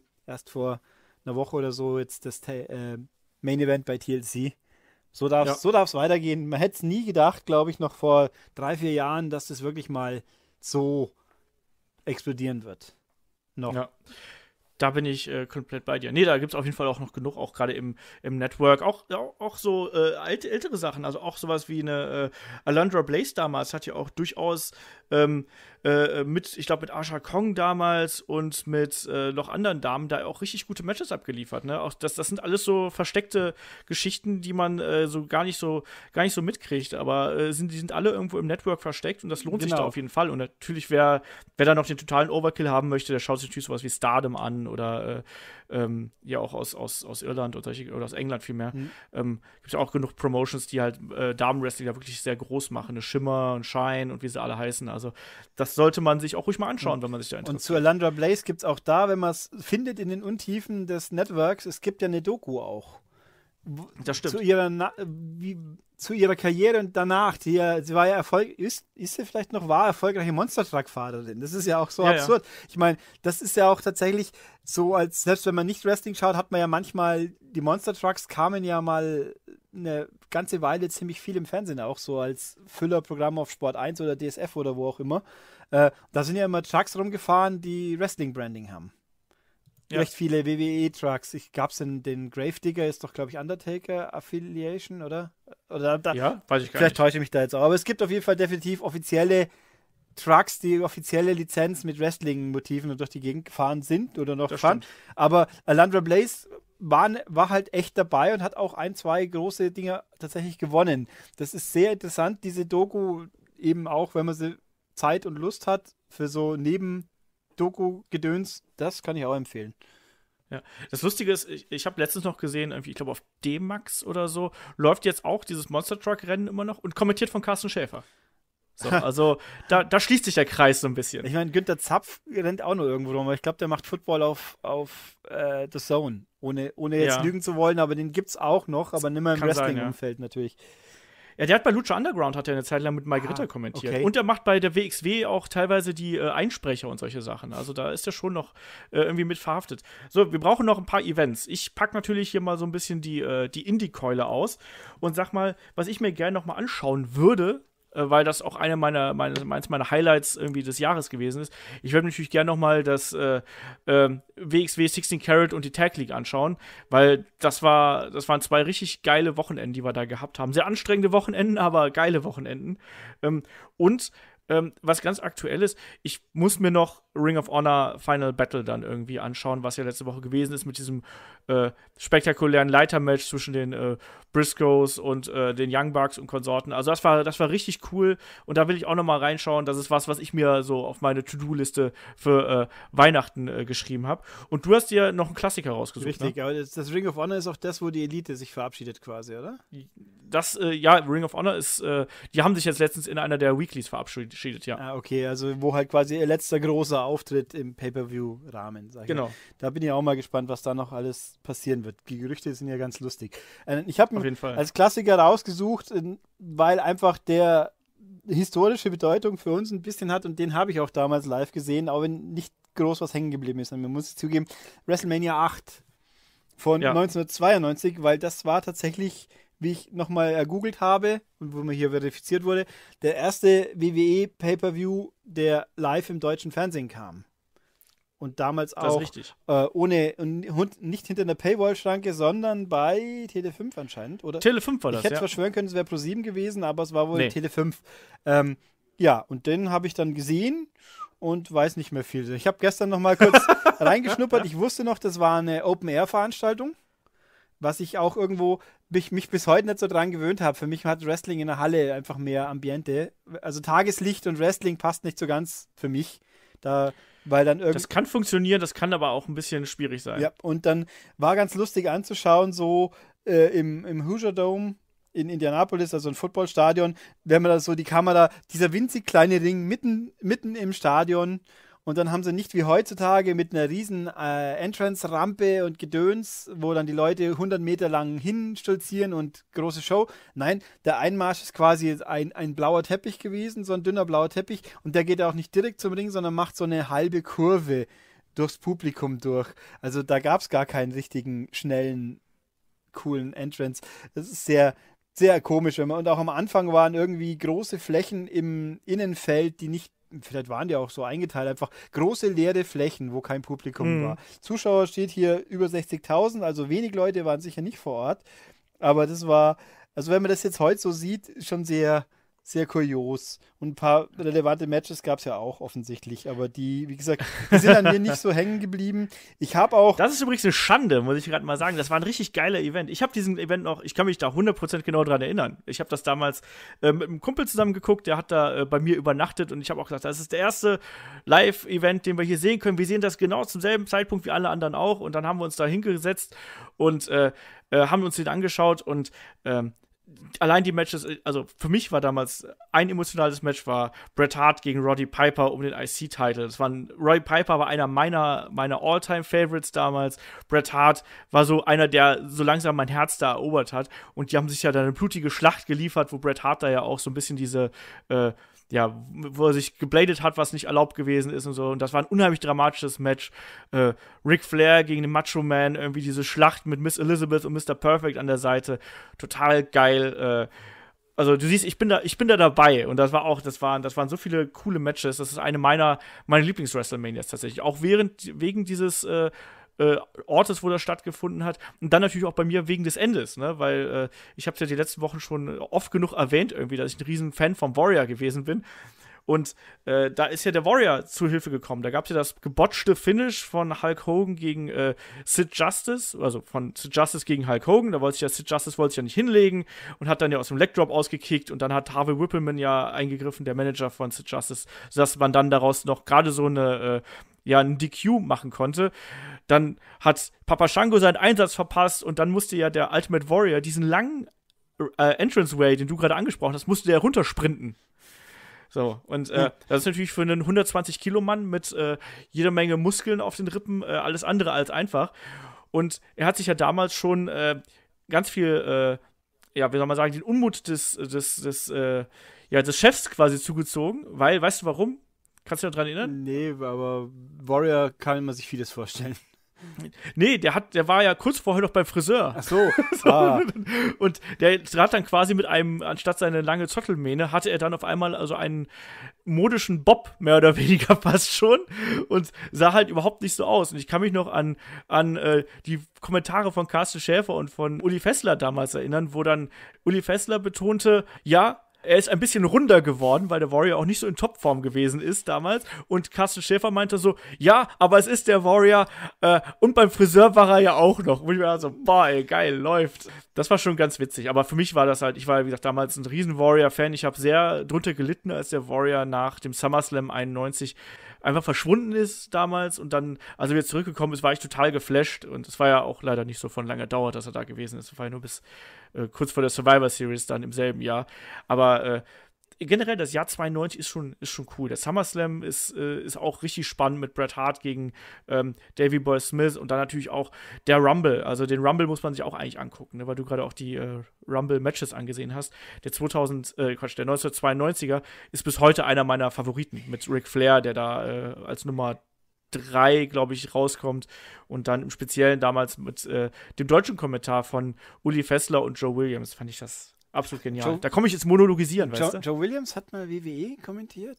Ja, ja, ein paar, ein paar Kaufkassetten. Oh Gott. Ein paar Kaufkassetten hat er kommentiert. Wie, wie cool eigentlich. Also das, das vermisse ich ja wirklich noch. Da, also Horst Brack war einfach und Joe Williams war einfach die, die perfekte Paarung für damals. Und gut, heute würden sie nicht mehr funktionieren wahrscheinlich, aber es war so großartig. Ich habe hier auch noch äh, so als Anekdote, äh, was heißt Anekdote am Rand, ja, eine große Anekdote dazu habe ich und eine kleine. Ich habe hier auch nochmal geguckt, eben Shawn Michaels, das war die Zeit, wo Sherry sein Thema gesungen hat.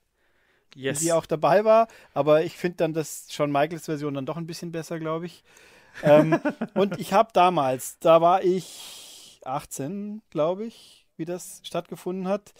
Da war ich in meiner Jugend äh, noch, da waren wir noch in der Schule, da war ich gerade aktiv in der Demo-Szene auf dem Amiga. Amiga ist ein Heimcomputer für Leute, die es nicht wissen sollten. ähm, und da war ich in einer Gruppe sogar organisiert mit ein paar Kumpels hier.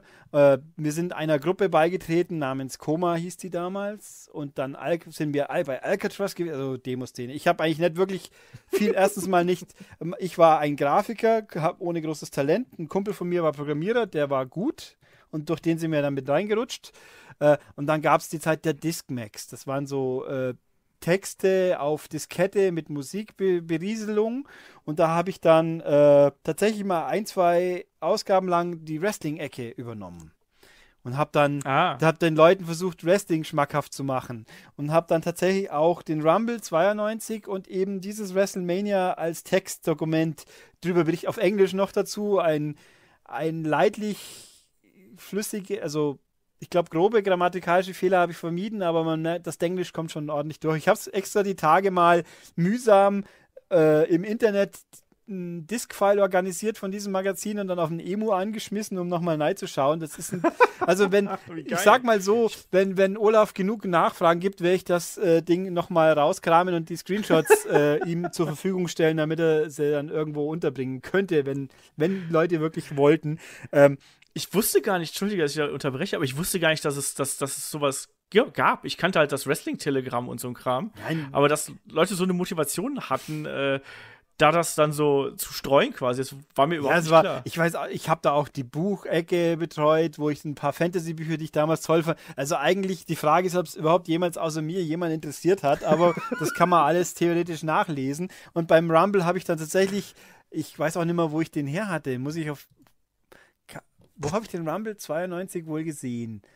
Kam der irgendwo, habe ich, ich muss noch Videokassette dann gehabt haben, habe ich mal aus der Videothek organisiert? Ich, das kann ich nicht mehr nachvollziehen, was ich da gemacht habe. Vielleicht kam der auch doch im Fernsehen irgendwo. Ich glaube, der kam auch im Fernsehen. Aber halt doch, zeitversetzt wahrscheinlich. Und dann, ich ja, habe ja. hier eine Liste mit, mit Stoppuhr, wann wer rausgeflogen ist die Reihenfolge der Entrance, oh. wann sie rausgeflogen Das ist wirklich so Quatsch. Das kann man, kann, also wie gesagt, schreibt Olaf, wenn ihr das wirklich ernsthaft lesen wollt, wenn ein paar Leute sagen, ja, dann organisiere ich das nochmal. also im Nachhinein, gut, ich war jung und dumm, jetzt bin ich halt nicht mehr so jung, aber ähm, ist schon. Jetzt bist du beim Podcast dabei, äh, so weißt du. Ja. Ob das jetzt klüger ist, weiß man ja, auch nicht. Ja, aber offenbar interessiert sogar ein paar Leute. Aber das ist, das ist ganz witzig. Und dann, ja, also es war eine, war eine lustige Zeit. Äh, wie gesagt, Demoszene. Wir haben auch mal ein Demo produziert, äh, also einfach eine Grafikdemonstration. Mein Kumpel, wie gesagt, der konnte programmieren, haben wir bei irgendeiner Party sogar den zweiten Platz gemacht damit. Uh. Also uh. das, das, ich glaube, das findet man auf YouTube sogar auch. Ich muss mal nachgoogeln. Aber ja, lauter so Quatsch halt. Und da habe ich dann eben genau diese zwei Events groß aufbereitet. mit Matchkritik und wie es denn so war. Ich habe einen Einsatz, der deutsche Kommentar war okay, steht auch drin. Was natürlich, äh, also es war eigentlich, ja. Also Kuriosität verbinde ich ja auch damit, habe ich nochmal rausgekramt. Das war der Auftakt meiner Journalistikkarriere. Hust. Wunderschön. So Bei mir war es so ähnlich. Ich habe damals, ich habe damals, als so das Internet aufkam, hatte ich so, äh, ich weiß gar nicht mehr, über ICQ-Chat oder sonst irgendwas, hat mich, hat mich irgendjemand angeschrieben, der eine Website über Videospiele machen wollte. Und mein erster Artikel, den ich da auch geschrieben habe, war dann über WWF WrestleMania The Arcade Game. Also wer sich daran noch erinnern kann. Ich glaube, das war so der erste Artikel, der von mir jemals erschienen ist. Äh, und dann später nochmal in Schülerzeitung habe ich dann die Sachen dann äh, so auch, auch so Wrestling-Sachen mal geschrieben. Aber ähm, ja, lustig. Also ich, mir war das gar nicht klar, dass, dass, da, äh, dass da solche Ambitionen da auch da sind. Aber ich finde das interessant, weil irgendwie versuchen ja dann Wrestling-Fans doch sich so äh, Gehör zu verschaffen und irgendwie äh, ja, so die Informationen zu verteilen. Ne? Das finde ich, find ich witzig. Ähm, Ulrich, ich würde sagen, damit sind wir hier mit, unseren, mit unserer Abteilung durch. Ähm, ich gebe dir jetzt noch mal die Chance, äh, hier eine Runde äh, frohe Weihnachtsgrüße vom äh, Steppberge zu verteilen. Ja, dann verteile ich doch frohe Weihnachtsgrüße an die Headlock-Hörer, die die es möglich machen, dass ich hier mit Leuten über Wrestling reden kann, die sich auch dafür interessieren. Das gibt es in meinem normalen Leben eher weniger. Deswegen ist es immer eine Freude, wenn ich kann. dann wünsche ich euch noch, wenn ihr es hört, frohe Weihnachten und einen guten Rutsch. Und wir hören uns dann nächstes Jahr sicher auch hin und da mal wieder. Und wenn ihr noch besonders schlechte Videos sehen wollt, schaut mal bei Kernspieler vorbei. Das ist mein privater YouTube-Kanal, wo ganz viele äh, sehr spannende Produkte veröffentlicht werden. Hüstel, Hüstel. das, ist, das ist was ganz anderes. Das ist richtig. Wrestling kommt da tendenziell nicht. Wobei ich habe ein die Generation X X-Pack-Shirt an in vielen Videos. Immerhin. Wieso auch nicht? Gut, dann würde ich sagen, sind wir hier durch. Ich sage Dankeschön, Ulrich. Danke und äh, so, bis dann. Tschüss. Ja, und da äh, bin ich wieder, übergebe an mich selber. Und zurück zu den lustigen äh, Weihnachts-Wrestling-Begebenheiten. Ähm, ich habe ja gerade in dem Einspieler so über die Invasion-Zeit so ein bisschen geplaudert. Und da gibt es auch natürlich 2001 eine äh, Weihnachtsfolge, ne? Und da gibt es eine lustige Szene, wo äh, Steve Austin äh, ja seine Weihnachtswünsche vorliest und zwar niemand geringerem als Tajiri, der sich da als Weihnachtsmann verkleidet hat und Steve Austin ja in seiner unnachahmlichen Art äh, sitzt auf dem Schoß von Tajiri und liest dann eben seine Wunschliste vor. Was ist dabei? Es ist natürlich Bier dabei, what? Es ist eine Knarre dabei, what? Es ist ein Championship-Match dabei, what? Und genauso geht's dann eben auch weiter. Ja, Ne? Sehr lustig, kann man sich durchaus mal anschauen, ist auf YouTube zu finden unter Stone Cold has a list for Tajiri Claws. Also ruhig mal anschauen. Und damit übergebe ich auch an unseren letzten Einspieler hier in der Runde. Und das sind natürlich David und Kai. Viel Spaß dabei.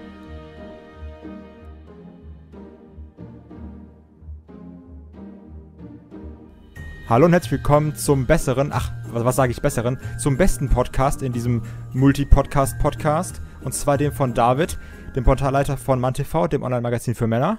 Hallo, eigentlich sind wir der Main Event, würde ich sagen. Ja, wir, wir, sind wirklich, also wenn wir, wenn wir jetzt nicht am Ende sind, bin ich enttäuscht. Und mir, Kai, indem wir euch, ähm, ich meine, ihr habt ja viele Tipps bekommen jetzt von Leuten, so Matches, die ihr euch angucken könnt, was ist gut, was ist schlecht.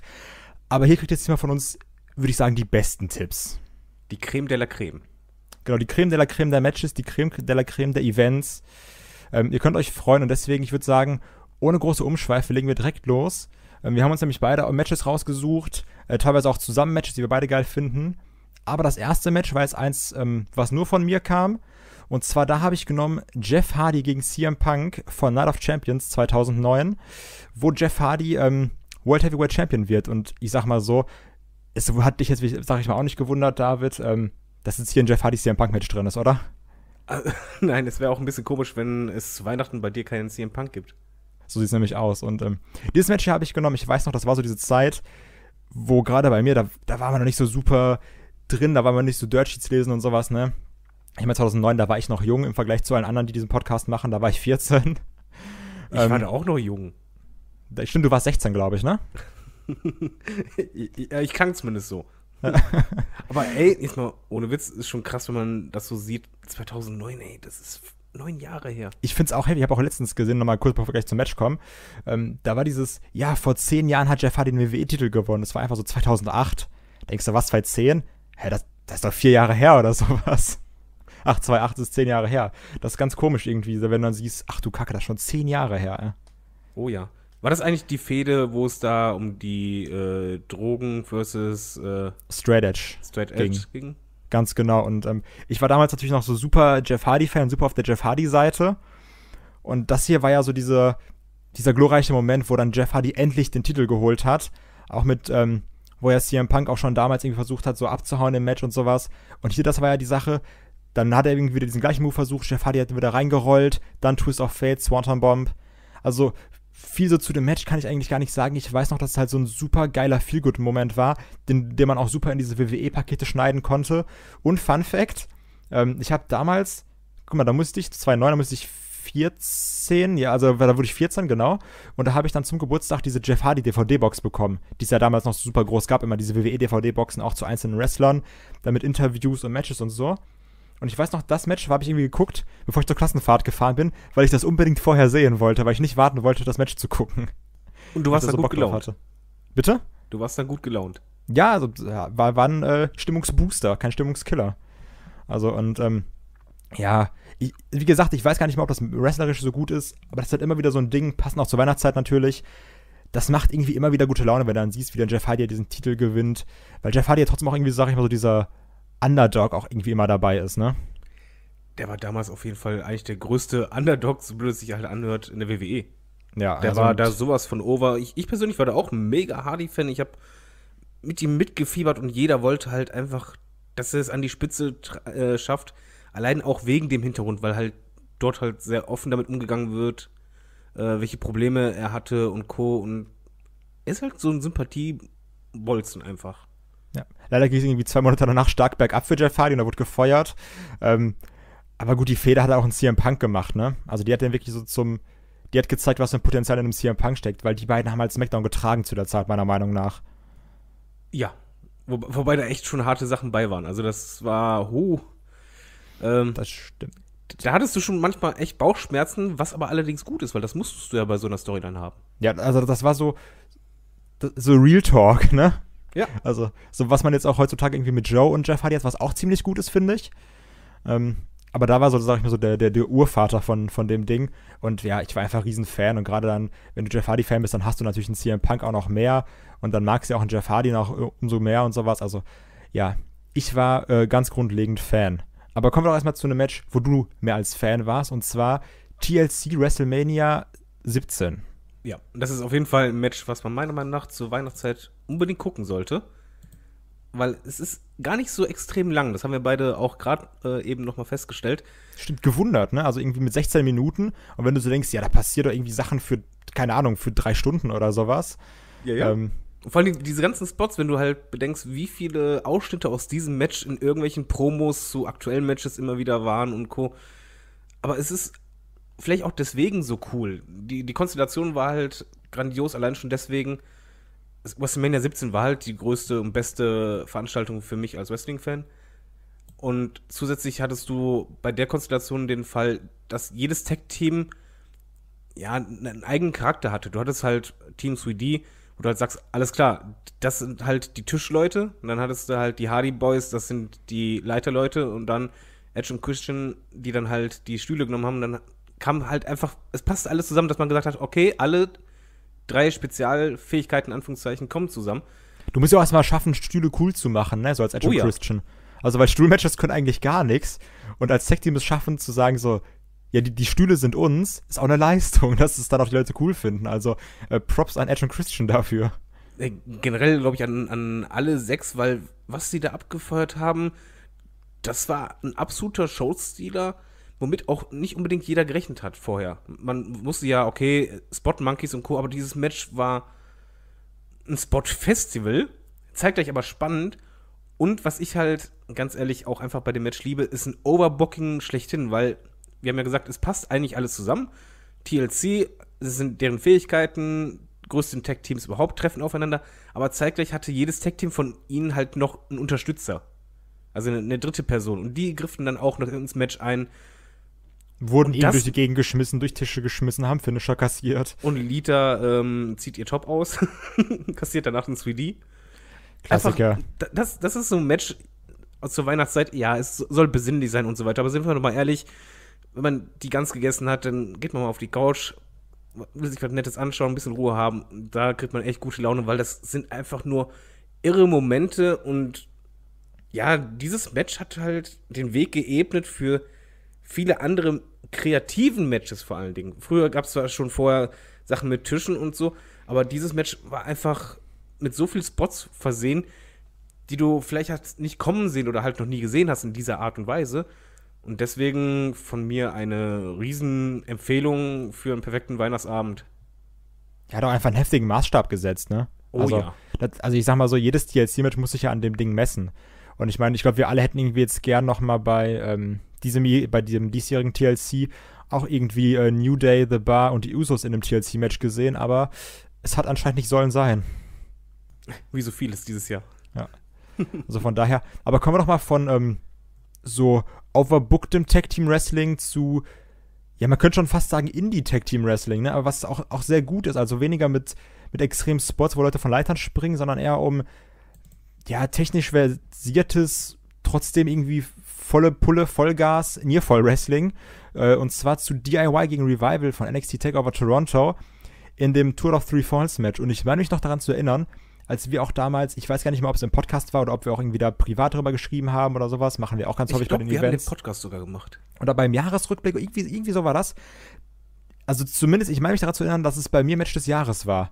Und dass auch irgendwie auch du und Olaf oder so, jetzt vielleicht nicht Match des Jahres oder sowas von 2016, aber ich weiß, ihr wart da auch extrem gehypt von und ähm, Ja, aber das Also Ding war ja auch noch. perfekt.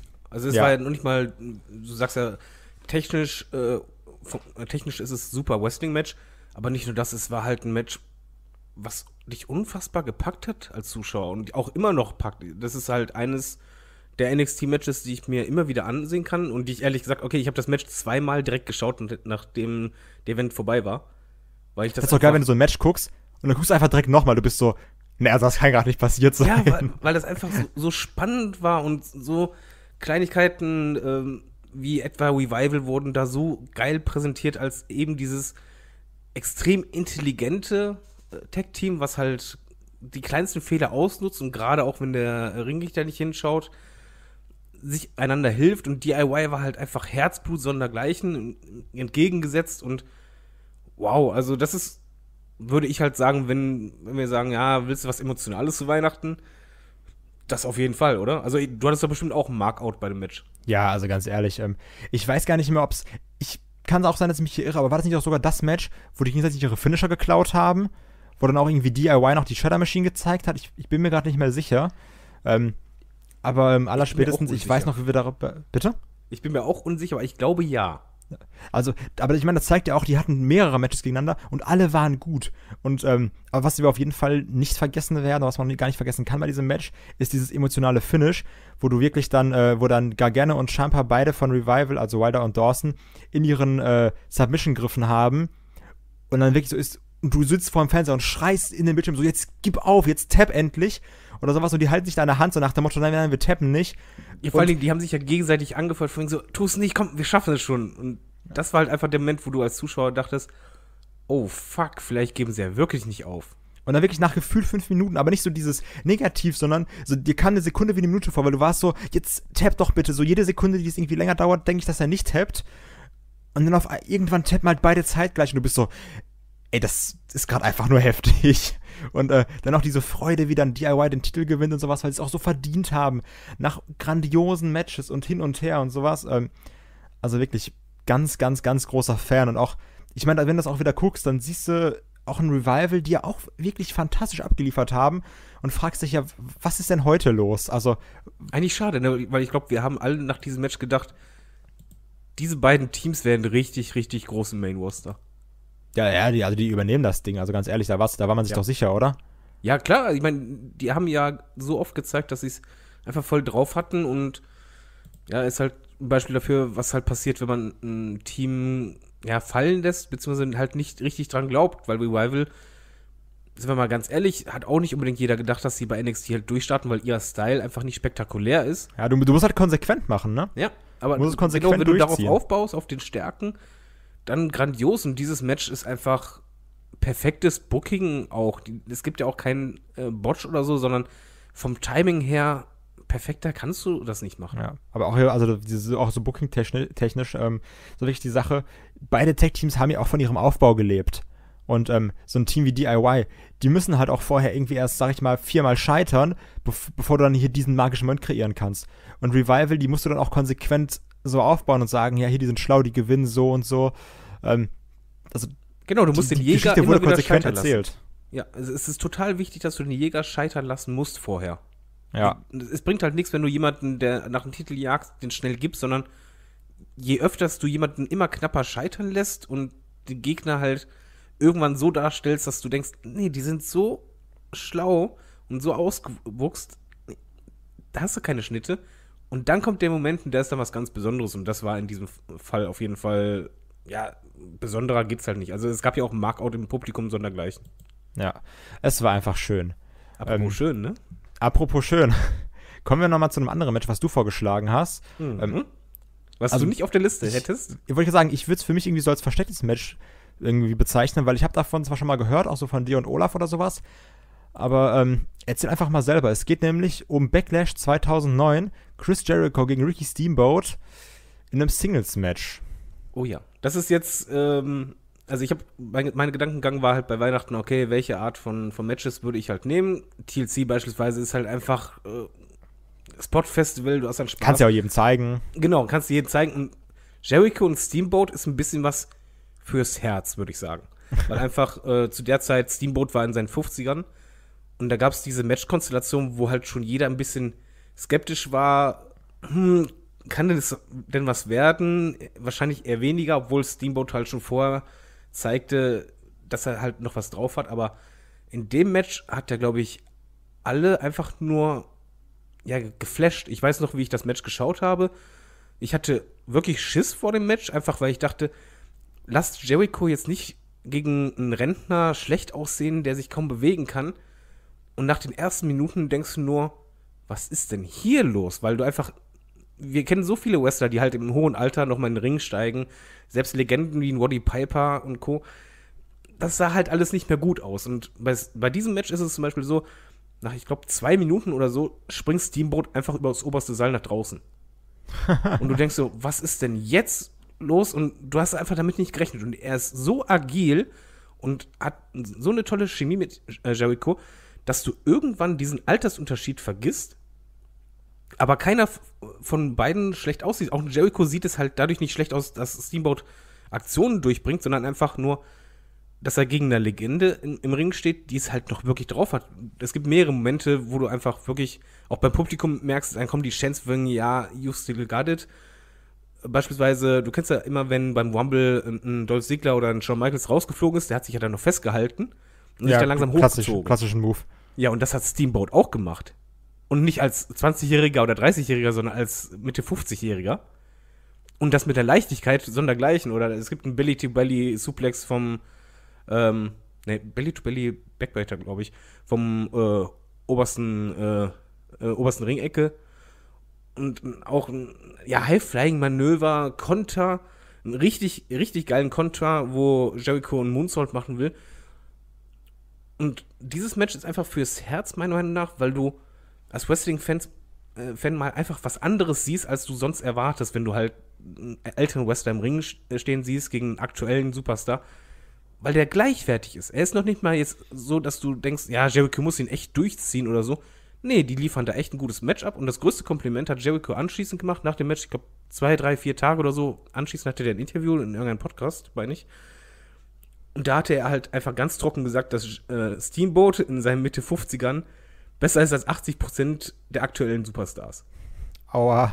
Und ja, aber das ist noch nicht mal jetzt den ak- aktuellen Superstars gegenüber halt negativ zu sehen, weil einfach Steamboat da abliefert. Und wer einfach mal was fürs Herz möchte zur Weihnachtszeit, Heizung aufdrehen, das Match anmachen. Es dauert nicht ewig, aber das ist wirklich kein Five-Star-Match, aber absolut beeindruckend, was dieser Mann in seinem Alter abliefert. Und du siehst auch an Jericho, dass er auch richtig Bock auf dieses Match hat. Und das ist halt leider eines, was viele niemals sehen werden oder vergessen haben. auch du, Kai, schau es dir zur Weihnachtszeit an. Das Ja, ich habe jetzt irgendwie Bock drauf. Also auch so generell, ich glaube jetzt auch gerade, wo ich so ein bisschen bei Wikipedia bin, ähm, das ganze Event wird irgendwie voll gut dargestellt oder sowas. Ich glaube, ich hätte mich auf jeden Fall mal durchskippen. Weil, also, du hast auch irgendwie, also Chris Jericho Steamboat, also das, da hast du mich jetzt, aber du hast auch irgendwie dieses Jeff Hardy mit Hardy I Quit Match. Dann hast du noch Edge gegen John Cena Last Man Standing. Also ich glaube, ich werde mal auf jeden Fall, äh, wenn ich mir das Match anschaue, nochmal so durch das Event auch so generell durchskippen. Aber, äh, also, du hast mich an der Angel, sag ich mal. Oder eine, eine Klöten. Also an den Ähm, Eiern. Apropos Eier. So, ich würde mal sagen, jetzt kommen wir zu dem Match, wo wahrscheinlich ein Wrestler einfach mal seine Eier gezeigt hat. Oh ja, aber wirklich in einer solchen Dicke, das kann man sich gar nicht vorstellen. Dass er überhaupt noch gehen konnte. wirklich, dass er überhaupt so sellen konnte mit den Dingern. Ähm, es geht nämlich um den SummerSlam 2005 und das Match of a Lifetime zwischen Hulk Hogan und Shawn Michaels. Ähm, nur mal so, also ganz ausführlich werden wir das Match nochmal irgendwann im Match of the Week besprechen, weil das einfach fantastisch ist. Aber hier nochmal so als kleiner Appetizer. Ihr könnt es euch am besten auch nochmal vorher anschauen, dann habt ihr es nochmal parat, wenn wir das Match of the Week machen. Aber das Ding hier, viel zitiert, ähm, von Leuten abgefeiert. Es geht nämlich darum, Hulk Hogan kam zurück irgendwie für ein Match und es war irgendwie angedacht, dass die, dass die drei Matches haben oder sowas oder zwei und jeder gewinnt eins. Genau, aber es sollten, glaube ich, drei werden, aber es sollte auf jeden Fall so sein, dass das erste Match Hogan gewinnt und das zweite Match dann HBK. Aber Genau. es kam ja anders dann. genau, Hogan in typischer äh, Hulk Hogan-Manier, wie er halt so ist und sagt so, "Ja, Leute, ich bin halt, ich bin der Hulkstar, ne? Ich, ich bin der Star, ich mache hier gar nichts. Ähm, hat gesagt, wir machen ein Match und das gewinne ich. Ähm, Shawn Michaels, man, man weiß ja schon, dass er so auch aus der Bret Hart-Zeit auch kein Kind von Traurigkeit ist, was so ein bisschen Stress angeht, hat dann gesagt, okay, wenn, wenn, wenn du es so haben willst, da spiele ich mit. Und hat dieses Match, was wirklich 21, 21 Minuten ist lange für ein Match, ne? Und hat dieses Match, was 21 Minuten geht, so komplett oversellt, die ganzen Minuten, das kann man sich nicht vorstellen, oder? Äh, nein, also das ist, äh, glaube ich, unsere Kategorie äh, Spaß zu Weihnachten. Einfach mal richtig ablachen. Wir gehen ja, wie gesagt, im Match of the Week nochmal genauer drauf ein, aber um halt so anzuteasern, stellt euch einfach mal vor, ähm, ein ganz normales Wrestling-Match, der eine schlägt den anderen. Alles gut, der weicht vielleicht zurück oder sonst was oder taumelt ein bisschen. In diesem Falle hat dann HBK äh, sich überschlagen, aus dem Ring geflogen, dann nochmal überschlagen, während der schon aus dem Ring war Ja. und quasi jeden Move so dermaßen oversellt, dass der schönste Moment eigentlich ist, wenn du irgendwann im Kamerabild das Gesicht von Hogan siehst, der einfach nur denkt, du Arschloch. Also ich aber so denkt so, gerade? ich kann gerade nichts machen. genau, er kann nichts machen, weil im Grunde genommen HBK bricht ja keine Regel. Er hält sich komplett ans Skript, die, die Move-Abläufe sind alle richtig, aber er, er sellt die Sachen so extrem, dass du einfach als, ja, im Publikum, du musst da lachen. Also da, da gibt es Situationen wirklich, wo du einfach nur die an den Kopf packst und er dadurch Hogan im Grunde genommen halt lächerlich macht. Aber Also, auf die ich meine, intelligenteste so- Art und Weise. Es sind ja auch so geniale Aktionen bei, ähm, den Schlag hast du ja auch schon erwähnt, aber auch, wo irgendwie so, na, irgendein Move fällt er auf den Rücken oder sowas, steht nochmal auf danach und, Und dann springt dann, noch- einfach nochmal hin. Also, das ist, das kann man sich nicht vorstellen, ne? Und also das ist ja auch mutig, sag ich mal. Also, weil Hulk Hogan ist ja, wie gesagt, kein kleiner Name. ne? Der hat ja auch schon ein bisschen Gewicht Backstage, denke ich jetzt mal. Shawn Michaels war aber auch schon Star zu der Zeit, ne? Und was heißt schon ein Star? Der, der war ein, ein Topstar schlechthin und der hat dann einfach mal gesagt, nee, Freundchen, So nicht. nicht mit mir. Ja. Also du wirklich. jetzt die ähm, Route. Das ist auch so ein Match, finde ich, das kann man sich auch wirklich irgendwie perfekt so 2 Uhr nachts oder sowas, wenn ihr schon so zwei, drei Glühwein getrunken habt oder sowas, dann ist es sogar noch witziger. Also, das ist wirklich, das ist hochklassiger im SummerSlam 2005 Main Event stehender Wrestling Trash. Genau, oder macht einfach ein Trinkspiel mit Freunden, wenn ihr Weihnachtsfest feiert. Jedes Mal, wenn HBK sich überschlägt, muss jeder einen Glühwein trinken. Ja, dann ist Viel einfach Spaß. vorbei nach drei Minuten. also, ähm, große Empfehlung. Groß, sehr, sehr großer Fan von dem Match. Oh ja, also Ja. die Matches ruhig alle anschauen und ihr werdet ein schönes Fest haben. Genau. Wenn ihr ein bisschen mehr Zeit habt, wenn er sagt so, ach du, so typisch zweiter Weihnachtsfeiertag, da ist eh nicht viel los, Läden haben zu, so, Spiel, was ich bekommen habe, habe ich jetzt eh schon durch. Haben wir jetzt noch zwei Events für euch, die wir euch empfehlen könnten. Ähm, das erste kommt vom David. Ach, ich soll jetzt zuerst. Ja, oder so, äh, ich würde, ich hätte dich jetzt. Nee, ich, ich, ich möchte zuerst deins hören. Vor allen Dingen Okay. möchte ich hören, warum, weil das interessiert mich wirklich. Aber ja gut, das ist, aber ist auch, ähm, Ja, es geht nämlich, ich sag's direkt, es geht um den Royal Rumble 2006. Und der ist ja bei ganz vielen, gerade bei so alten, verbitterten Männern, wie Olaf zum Beispiel einer ist. ist Schönen so, Gruß an Olaf. Schönen Grüße an Olaf. Hallo, frohe Weihnachten. ähm, es ist immer so, ach ja, der Sechser Rumble, ach Mann, das war kacke. Und der, der Event, der konnte irgendwie auch nichts oder sowas. Und ich muss sagen, so als, als schönen Vergleich, den ich mir da überlegt habe, für mich ist dieses Pay-Per-View eher so, das muss man, sag ich mal, wie, so- wie so ein Album sehen. So, du hast da Hits drauf, die mir gefallen, aber auch so Sachen, die sind halt einfach dabei. So, die, die nimmst du mit, die hörst du dir vielleicht einmal an, dann sagst du aber auch, war jetzt gut. Und zwar, ähm, ich, ich gehe jetzt auch nur auf die Sachen ein, die mir irgendwie Spaß gemacht haben, ne? Ich, zum Beispiel dieses, ähm, dieses Cruiserweight-Match oder sowas, das war irgendwie mit Gregory Helms, Kid Cash, Funaki, Jamie Noble, Nunzio Paul London. Das war einfach so hin und her, Cruiserweight Championship Match in sieben Minuten. Da ist halt jeder mal so ein bisschen rumgesprungen. Und ich sag, wie es ist, es ist auch immer so ein bisschen dieser Grund, das Alter, ne? Ich war irgendwie elf und wir hatten das, wir hatten halt diese DVD zu Hause. Du hattest halt nicht, wir hatten ja nichts. Wir hatten ja nichts, als ich elf Oh, war. du Und, armer äh, alter Mann. Genau, ich, ich armer alter Mann. Wir haben noch Wrestling mit äh, Steinen gespielt. Guter alter Stein. ähm, ne, aber die Sache dabei ist wirklich, so, ich habe dieses Event so oft gesehen, so, du kennst das doch bestimmt auch. So, dann, du hast vielleicht auch Sachen, die sind objektiv vielleicht gar nicht mal so gut. Aber weil du so oft schaust, oder das ist so de, de, dein einziges Ding, was du sagst, so, ich kann halt nur das schauen, dann schaust du es aber auch irgendwie gefühlt 400 Mal, weil du sagst, ja, das ist halt geil und irgendwann liebe ich es auch. Und so ging es mir auch damit. Also klar, da waren auch ganz gruselige Sachen dabei, wie zum Beispiel Boogeyman gegen äh, JBL, der auch irgendwann mal Jillian Hall so eine Warze oder so ein Ding abgebissen hat. Das war schon merkwürdig. Ähm, aber bevor ich gleich zu meinem großen Highlight komme, wovon ich auch großer Fan bin, ist hier äh, John Cena gegen Edge in dem WWE Championship Match. Weil ich, weiß noch, die hatten so einen supergeilen Entrance, wenn ich mich nicht täusche, wo irgendwie oben so eine Rampe war und auch so, so Rauch rausgeschossen wurde oder sowas. Also so super pompös, obwohl es der Rumble war, wenn du daran heute denkst, ne? Heute hat der Rumble einfach so einen stinknormalen Aufbau wie Raw. Und da hast du noch so ein bisschen gemerkt, dieses, diesen Production Value auch dahinter. Also davon da war ich. einfach die Battle Royale. Die, die hat bei mir zum Beispiel diesen Rumble zerstört. Das ist bei, bei dir wahrscheinlich das. Gegenteil, ne? Ja, also ich glaube, das ist wirklich dieser Generationenunterschied, ne? Weil viele sagen so, ach Mann, der Rey Mysterio und das ist ja so Klischee und das mit Eddie und hier und da und ich muss sagen, ich war, ich war halt komplett dabei, ne? Das war, das war für mich wirklich die Underdog-Story. Ich habe mit Ray mitgelitten. Klar, natürlich, wenn du es heute guckst, dann sagen viele, ja, der Ray ist da irgendwie Stunde zwei im Ring, liegt davon aber eine Stunde fünf irgendwo in der Ecke oder sowas. Das kannst du ja auch nicht wegdiskutieren, ne? Bin ich auch ganz ehrlich. Aber trotzdem ist für mich dieser Feel-Good-Moment oder so, den du dabei hast, oder auch so, ach, also ich habe da so viele Momente drin, die du heute vielleicht eher komisch finden würdest. Aber ich würde lügen, wenn ich sage, damit hatte ich damals nicht Unmengen an Spaß, ne? Ich, ich glaub dir. Ich schaue mir auch noch mal an. Ja. Das verspreche ich. Aber nicht zu Genau. meiner Zeit. Vielleicht, vielleicht, äh, wenn ich, wenn ich von den Glühweinen erholt bin. Und ich mochte dann auch dieses Hin und Her, wenn die dann so Backstage irgendwie noch die, die Kugeln rausziehen und so, ne? Das fehlt mir im Übrigen wirklich heutzutage. Ja, das stimmt. Also, ah, auf- ich, ich weiß es nicht. Also, manchmal hattest du ja dieses, du weißt dieses, ah ja, komm, der kommt jetzt so oder so. Aber manchmal dieses, auch wie die sich auch mal Backstage verarscht haben und sowas. Und dann geguckt haben, so, was hast du denn dann irgendwie ausgelacht haben und so, ein- so ein Kram. Das fand ich eigentlich immer ganz lustig. Also, deswegen, also ich, ich habe damit einfach sehr viel Spaß, auch wo dann irgendwie dann später, ich glaube, das ist auch der Rumble, wo dann ein äh, Shelton Benjamin oder sowas mit seiner Mutter auch dann irgendwie rauskommt und die Mutter das Ding da zieht für den und so ein Kram oder so. Ja.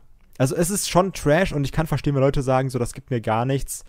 Aber ähm, da ist halt bei mir auch dieser, auch wenn es von 2006 ist, hahaha, aber es ist trotzdem bei mir so ein gewisser Nostal Nostalgiefaktor dabei, wenn ich mich so daran erinnere, wie ich auf so einem ganz, ganz schlechten PC-Bildschirm, das was so eine Röhre, Röhre war, ähm, den Rumble immer und immer und immer wieder geschaut habe. Von daher große persönliche Liebe für diesen Event. Und eine Empfehlung für Weihnachten. Und eine Empfehlung für Weihnachten. Und also ganz ehrlich, ein Rumble kannst du aber immer gucken, sind wir mal ehrlich, oder? Äh, Rumble gehört generell ähm, sogar so die vor WrestleMania ne? zu. Ja, aber generell sogar vor WrestleMania bei mir zu den Pay-Per-Views, die ich mir am meisten anschaue, also nochmal anschaue. Ich habe teilweise Rumbles wahrscheinlich schon ohne Übertreibung 20, 30 Mal gesehen. Ja, aber Weil ich, ich mag einfach dieses Match und die, diese Veranstaltung, das war immer so ein bisschen, ja, mein Lieblingding. Weil ich man immer hypt sich ja auch so ein bisschen selber. Ne? Man, Überraschungsentrances man hypt sich auch so wieder au- auf Mania und auf den Rumble selbst mit so Ja, genau. alten Sachen. Und so, du hast ja auch immer wieder so wo du sagst so, ach Mann, das ist jetzt geil. Und dann kommt der raus und dann gibt es hier nochmal einen Pop. Also wie gesagt, mit, mit dem Rumble kann man Spaß haben, kann man immer Spaß haben. Und auch dieses John Cena Edge-Ding hat mir- fand ich sehr, sehr gut. Ähm, ja. Von daher ist für mich einfach ein schönes Ding. Kommen wir mal zu Dime, was er viel, viel, viel rockig, ich nenne es mal rockiger, viel rockiger ist. Nein, viel, das ist nicht rockiger. Das ist Action. einfach nur.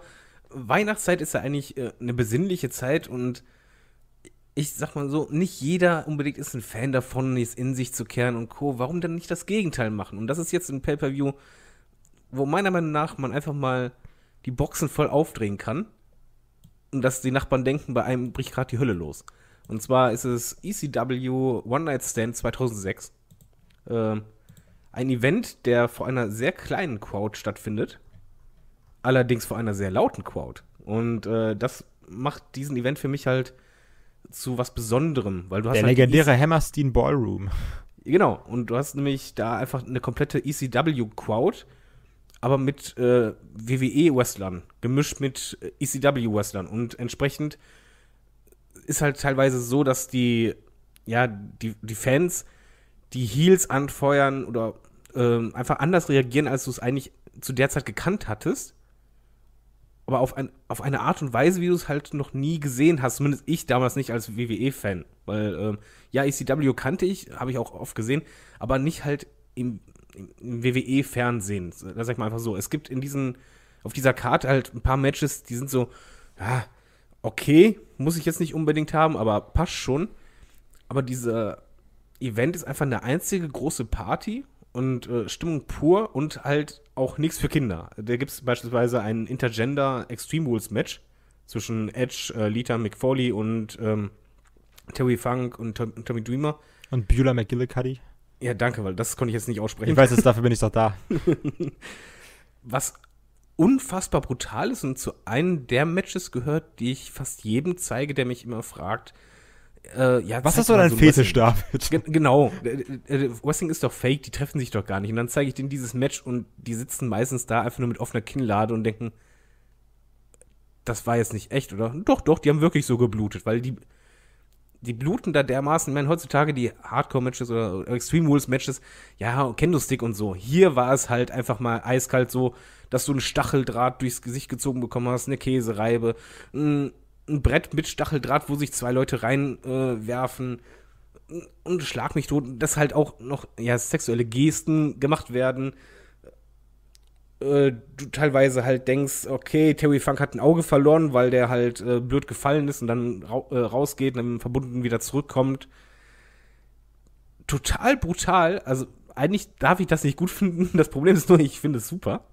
Äh, und ich feiere dieses Match dermaßen ab und schaue es super gerne. Die Crowd rastet aus, aber das ist noch nicht mal das Match, wo die Crowd am meisten abgeht, sondern der Main Event war Rob Van Dam gegen John fucking Cena, der zu der Zeit einfach ja, das Hassobjekt schlechthin von jedem Indie-Fan war und auch von fast jedem WWE-Fan, weil er einfach da der Superheld war. Und in diesem Match werde ich halt nie vergessen, der Entrance erstmal so, dass Cena nur den Belt hochhält, den Kopf senkt und durch diese ganz enge Crowd gehen muss und eigentlich Angst haben muss, dass die ihn gleich schon schlagen. So aggressiv sind die und er kriegt, glaube ich, 32 Milliarden Mittelfinger gezeigt. Und bevor das Match losgeht, rastet die Crowd schon aus und dann fliegt immer wieder Toilettenpapier in den Ring und du merkst einfach bei Cena, dass er auch total überfordert ist, genauso wie dass er früher immer das T-Shirt in, äh, in die Crowd geworfen hat, macht er hier auch. Das Problem ist dann nur, die, die Crowd wirft das jedes Mal zurück. Ey, das ist so ein das. geiler Moment, ne? Ich liebe das. Das ist so krass einfach. Und das ist ja nicht nur einmal, das ist irgendwie zwei, drei, vier Mal. ne? Wie, wie geil das einfach, also wie da auch eine Crowd einfach zusammenhält, ne? Genau, keiner, der halt sagt von wegen so, boah, ich möchte das doch haben, komm, ich, ich unterbreche das. Nein, jeder hat zurückgeworfen, Mittelfinger und da kommen halt Chants, die so dermaßen unter der Gürtellinie sind. Also, ähm, sagen wir zum Beispiel, ja, ich sag mal keine Beispiele, einfach mal anhören, anschauen. Da sind echt, also das passt einfach nicht zur PG-Era. Und äh, dieses Match ist eigentlich wrestlerisch gesehen nicht gerade bombastisch, aber diese Stimmung ist jedes Mal so, dass ich eine Gänsehaut kriege und deswegen auch von mir eine riesengroße Empfehlung zur Weihnachtszeit, weil es einfach das komplette Gegenprogramm ist zum normal, ja, zum normalen weihnachtlichen, besinnlichen. Nein, dreht die Boxen auf und lasst die Nachbarn mal alle wissen, wie laut Wrestling-Fans sein können und dass es bei euch nicht unbedingt halt brav zugeht. Ja, das ist auch das Geile, ne? lassen. Ich habe gerade mal nachgeschaut. Also da waren anscheinend ähm, also un- ungefähr 2500 Leute. Du musst dir das mal wegtun. Also ich meine, das ist klar, also es ist natürlich einfacher mit 2500 Lau also zusammen laut zu sein, als wenn du jetzt irgendwie 500 15.000 organisieren musst, ne? Aber das ist so ein, also ein Hexenkessel, wenn du mal ehrlich bist, ne? Die Stimmung kocht da so hoch und auch dieses äh, If Cena wins, we riot und sowas, also Ja. und du bist so, ja, das nehme ich euch gerade einfach mal ab. Dass Genau, ihr das, ist es halt, du hast tut. dem wirklich abgekauft. Und Ja. äh, auch wie die halt Rob the Dam abgefeiert haben, der ey, ich habe noch nie solche AVD-Chants gehört oder wenn er seinen Namen sagt, das ist einfach nur Ja. bei dieser Veranstaltung geht es einfach nur um Stimmung, Spaß haben. Nicht mit ein paar Bierchen, einfach mit ein paar Glühweinen, mit Kumpels oder sonst was. Ein- Einfach mal volle Lotte, ähm, mal die, die Regeln, die normal gelten, beiseite legen. Ja, das stimmt. Ach ja, ich, würd- ich würde sagen, ist für jeden was dabei, oder? Also bei unseren Tipps. Ich, ich hoffe es doch mal. Also wir haben besinnlich, lustig, äh, was fürs Herz, äh, nostalgisch, extrem. Glaube ich alles. Ich frage mich gerade, was die anderen alle äh, für Matches So, so Olaf so, oh ja, und dann damals äh, 1973, da hat mal einer in der Turnhalle gekämpft und äh, da war das Licht aber kaputt, aber die haben trotzdem 40 Minuten gerestelt, war einfach super. War super. Ist eigentlich nichts passiert, aber war super. Aber ich, ich war live dabei. Ach ja, schön. er war generell schon überall. Ja. Ähm, Aber äh, warte mal, bevor wir hier, wir müssen wahrscheinlich schon dicht machen, kriegen jetzt Ärger, weil wir Überlänge machen. genau, aber der David hat noch ein schönes Gedicht geschrieben. Nein, das Gedicht. das ist kein Gedicht, das ist ein, ein, ein Song. Mö- Möchtest du denn mal, mö- möchtest du nur mal, möchtest du mal deine, deine, deine Lyrics vorlesen? Ähm, möchtest Passend du nicht singen? Du kannst doch bestimmt besser singen als ich. Nee, also, guck mal, also ich, guck mal, pass auf, der Song von David geht jetzt so. Vince schreit rum, Steph schaut dumm, Hunter schlägt zu Brei, Shane McMahon springt vorum, wir von Headlock haben frei. Frei. Passend zur Weihnachtszeit. Schön, ne? Hat David Raw geguckt, hat gesagt, texte da was zu. Ich sehe da auch eine Karriere als Rapper, wenn ich ehrlich bin. Gar nicht schlecht, ne? Oder also wenn es halt mit Headlock nicht klappt, äh, Rapper, also ich sehe dich da wirklich so, so 8 Mile mäßig irgendwo in so einem Ding drin. Oder einfach jemand, der Weihnachtslieder für Wrestling-Fans schreibt und deswegen pleite ist, weil das keiner möchte. So Vorsänger für so Weihnachtsshows. Apropos Vorsänger, ich glaube, wir müssen jetzt mal. Genau, wir Aufhören. kommen zum Schluss. Ich, Ähm, ich höre sonst schon Olafs Route knallen. Also auch nochmal von mir wirklich Dankeschön für dieses tolle Jahr. Auch an alle, die ich irgendwie getroffen habe bei WXW-Events, beim Karat, bei der Tech League irgendwo oder sowas. Oder auch in Hamburg, da waren auch welche dabei. Es war schön. Also klar, wrestlerisch, sag ich mal, äh, Auf und Abs. Bin gespannt auf 2019.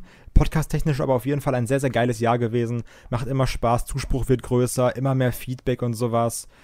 Ja, vielen, vielen Dank ähm, von mir. Schöne Feiertage, schöne Festtage, guten Rutsch ins neue Jahr.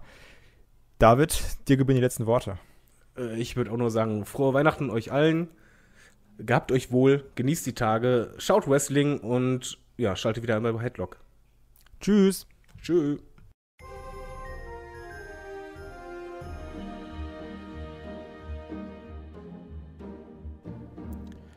Ja, Dankeschön, äh, David und Dankeschön, Kai. Und eigentlich ist da auch alles gesagt. Auch von mir an dieser Stelle nochmal ganz tolle Weihnachtstage. Ähm, genießt die Zeit zwischen den Jahren, äh, kommt ein bisschen runter. Ähm, schaut Wrestling, genießt Wrestling, hört Headlock, genießt Headlock, hoffentlich auch. Ähm, aber vor allem genießt einfach die Zeit jetzt zwischen den Jahren, sofern ihr denn irgendwie keinen großen Stress oder sonst irgendwas habt. Ähm, habt da eine gute Zeit und ähm, wir hören uns dann nächste Woche mit dem Jahresrückblick 2018 wieder. Schaut natürlich gerne bei uns auf äh, Facebook und auf headlock.de vorbei wegen den Gewinnspielen. Und nicht zu vergessen, ähm, wenn ihr uns was Gutes tun möchtet, dann schaut auch gerne bei uns auf Patreon und Steady vorbei. Also ich sag mal so zwischen den Jahren, da ist ja auch ein bisschen Zeit, um mal äh, noch ein paar zusätzliche Podcasts sich reinzuziehen. Macht das gerne. Ansonsten frohe Weihnachten, schönes Fest und wir hören uns nächste Woche zum Jahresrückblick. Macht's gut, bis dahin, tschüss.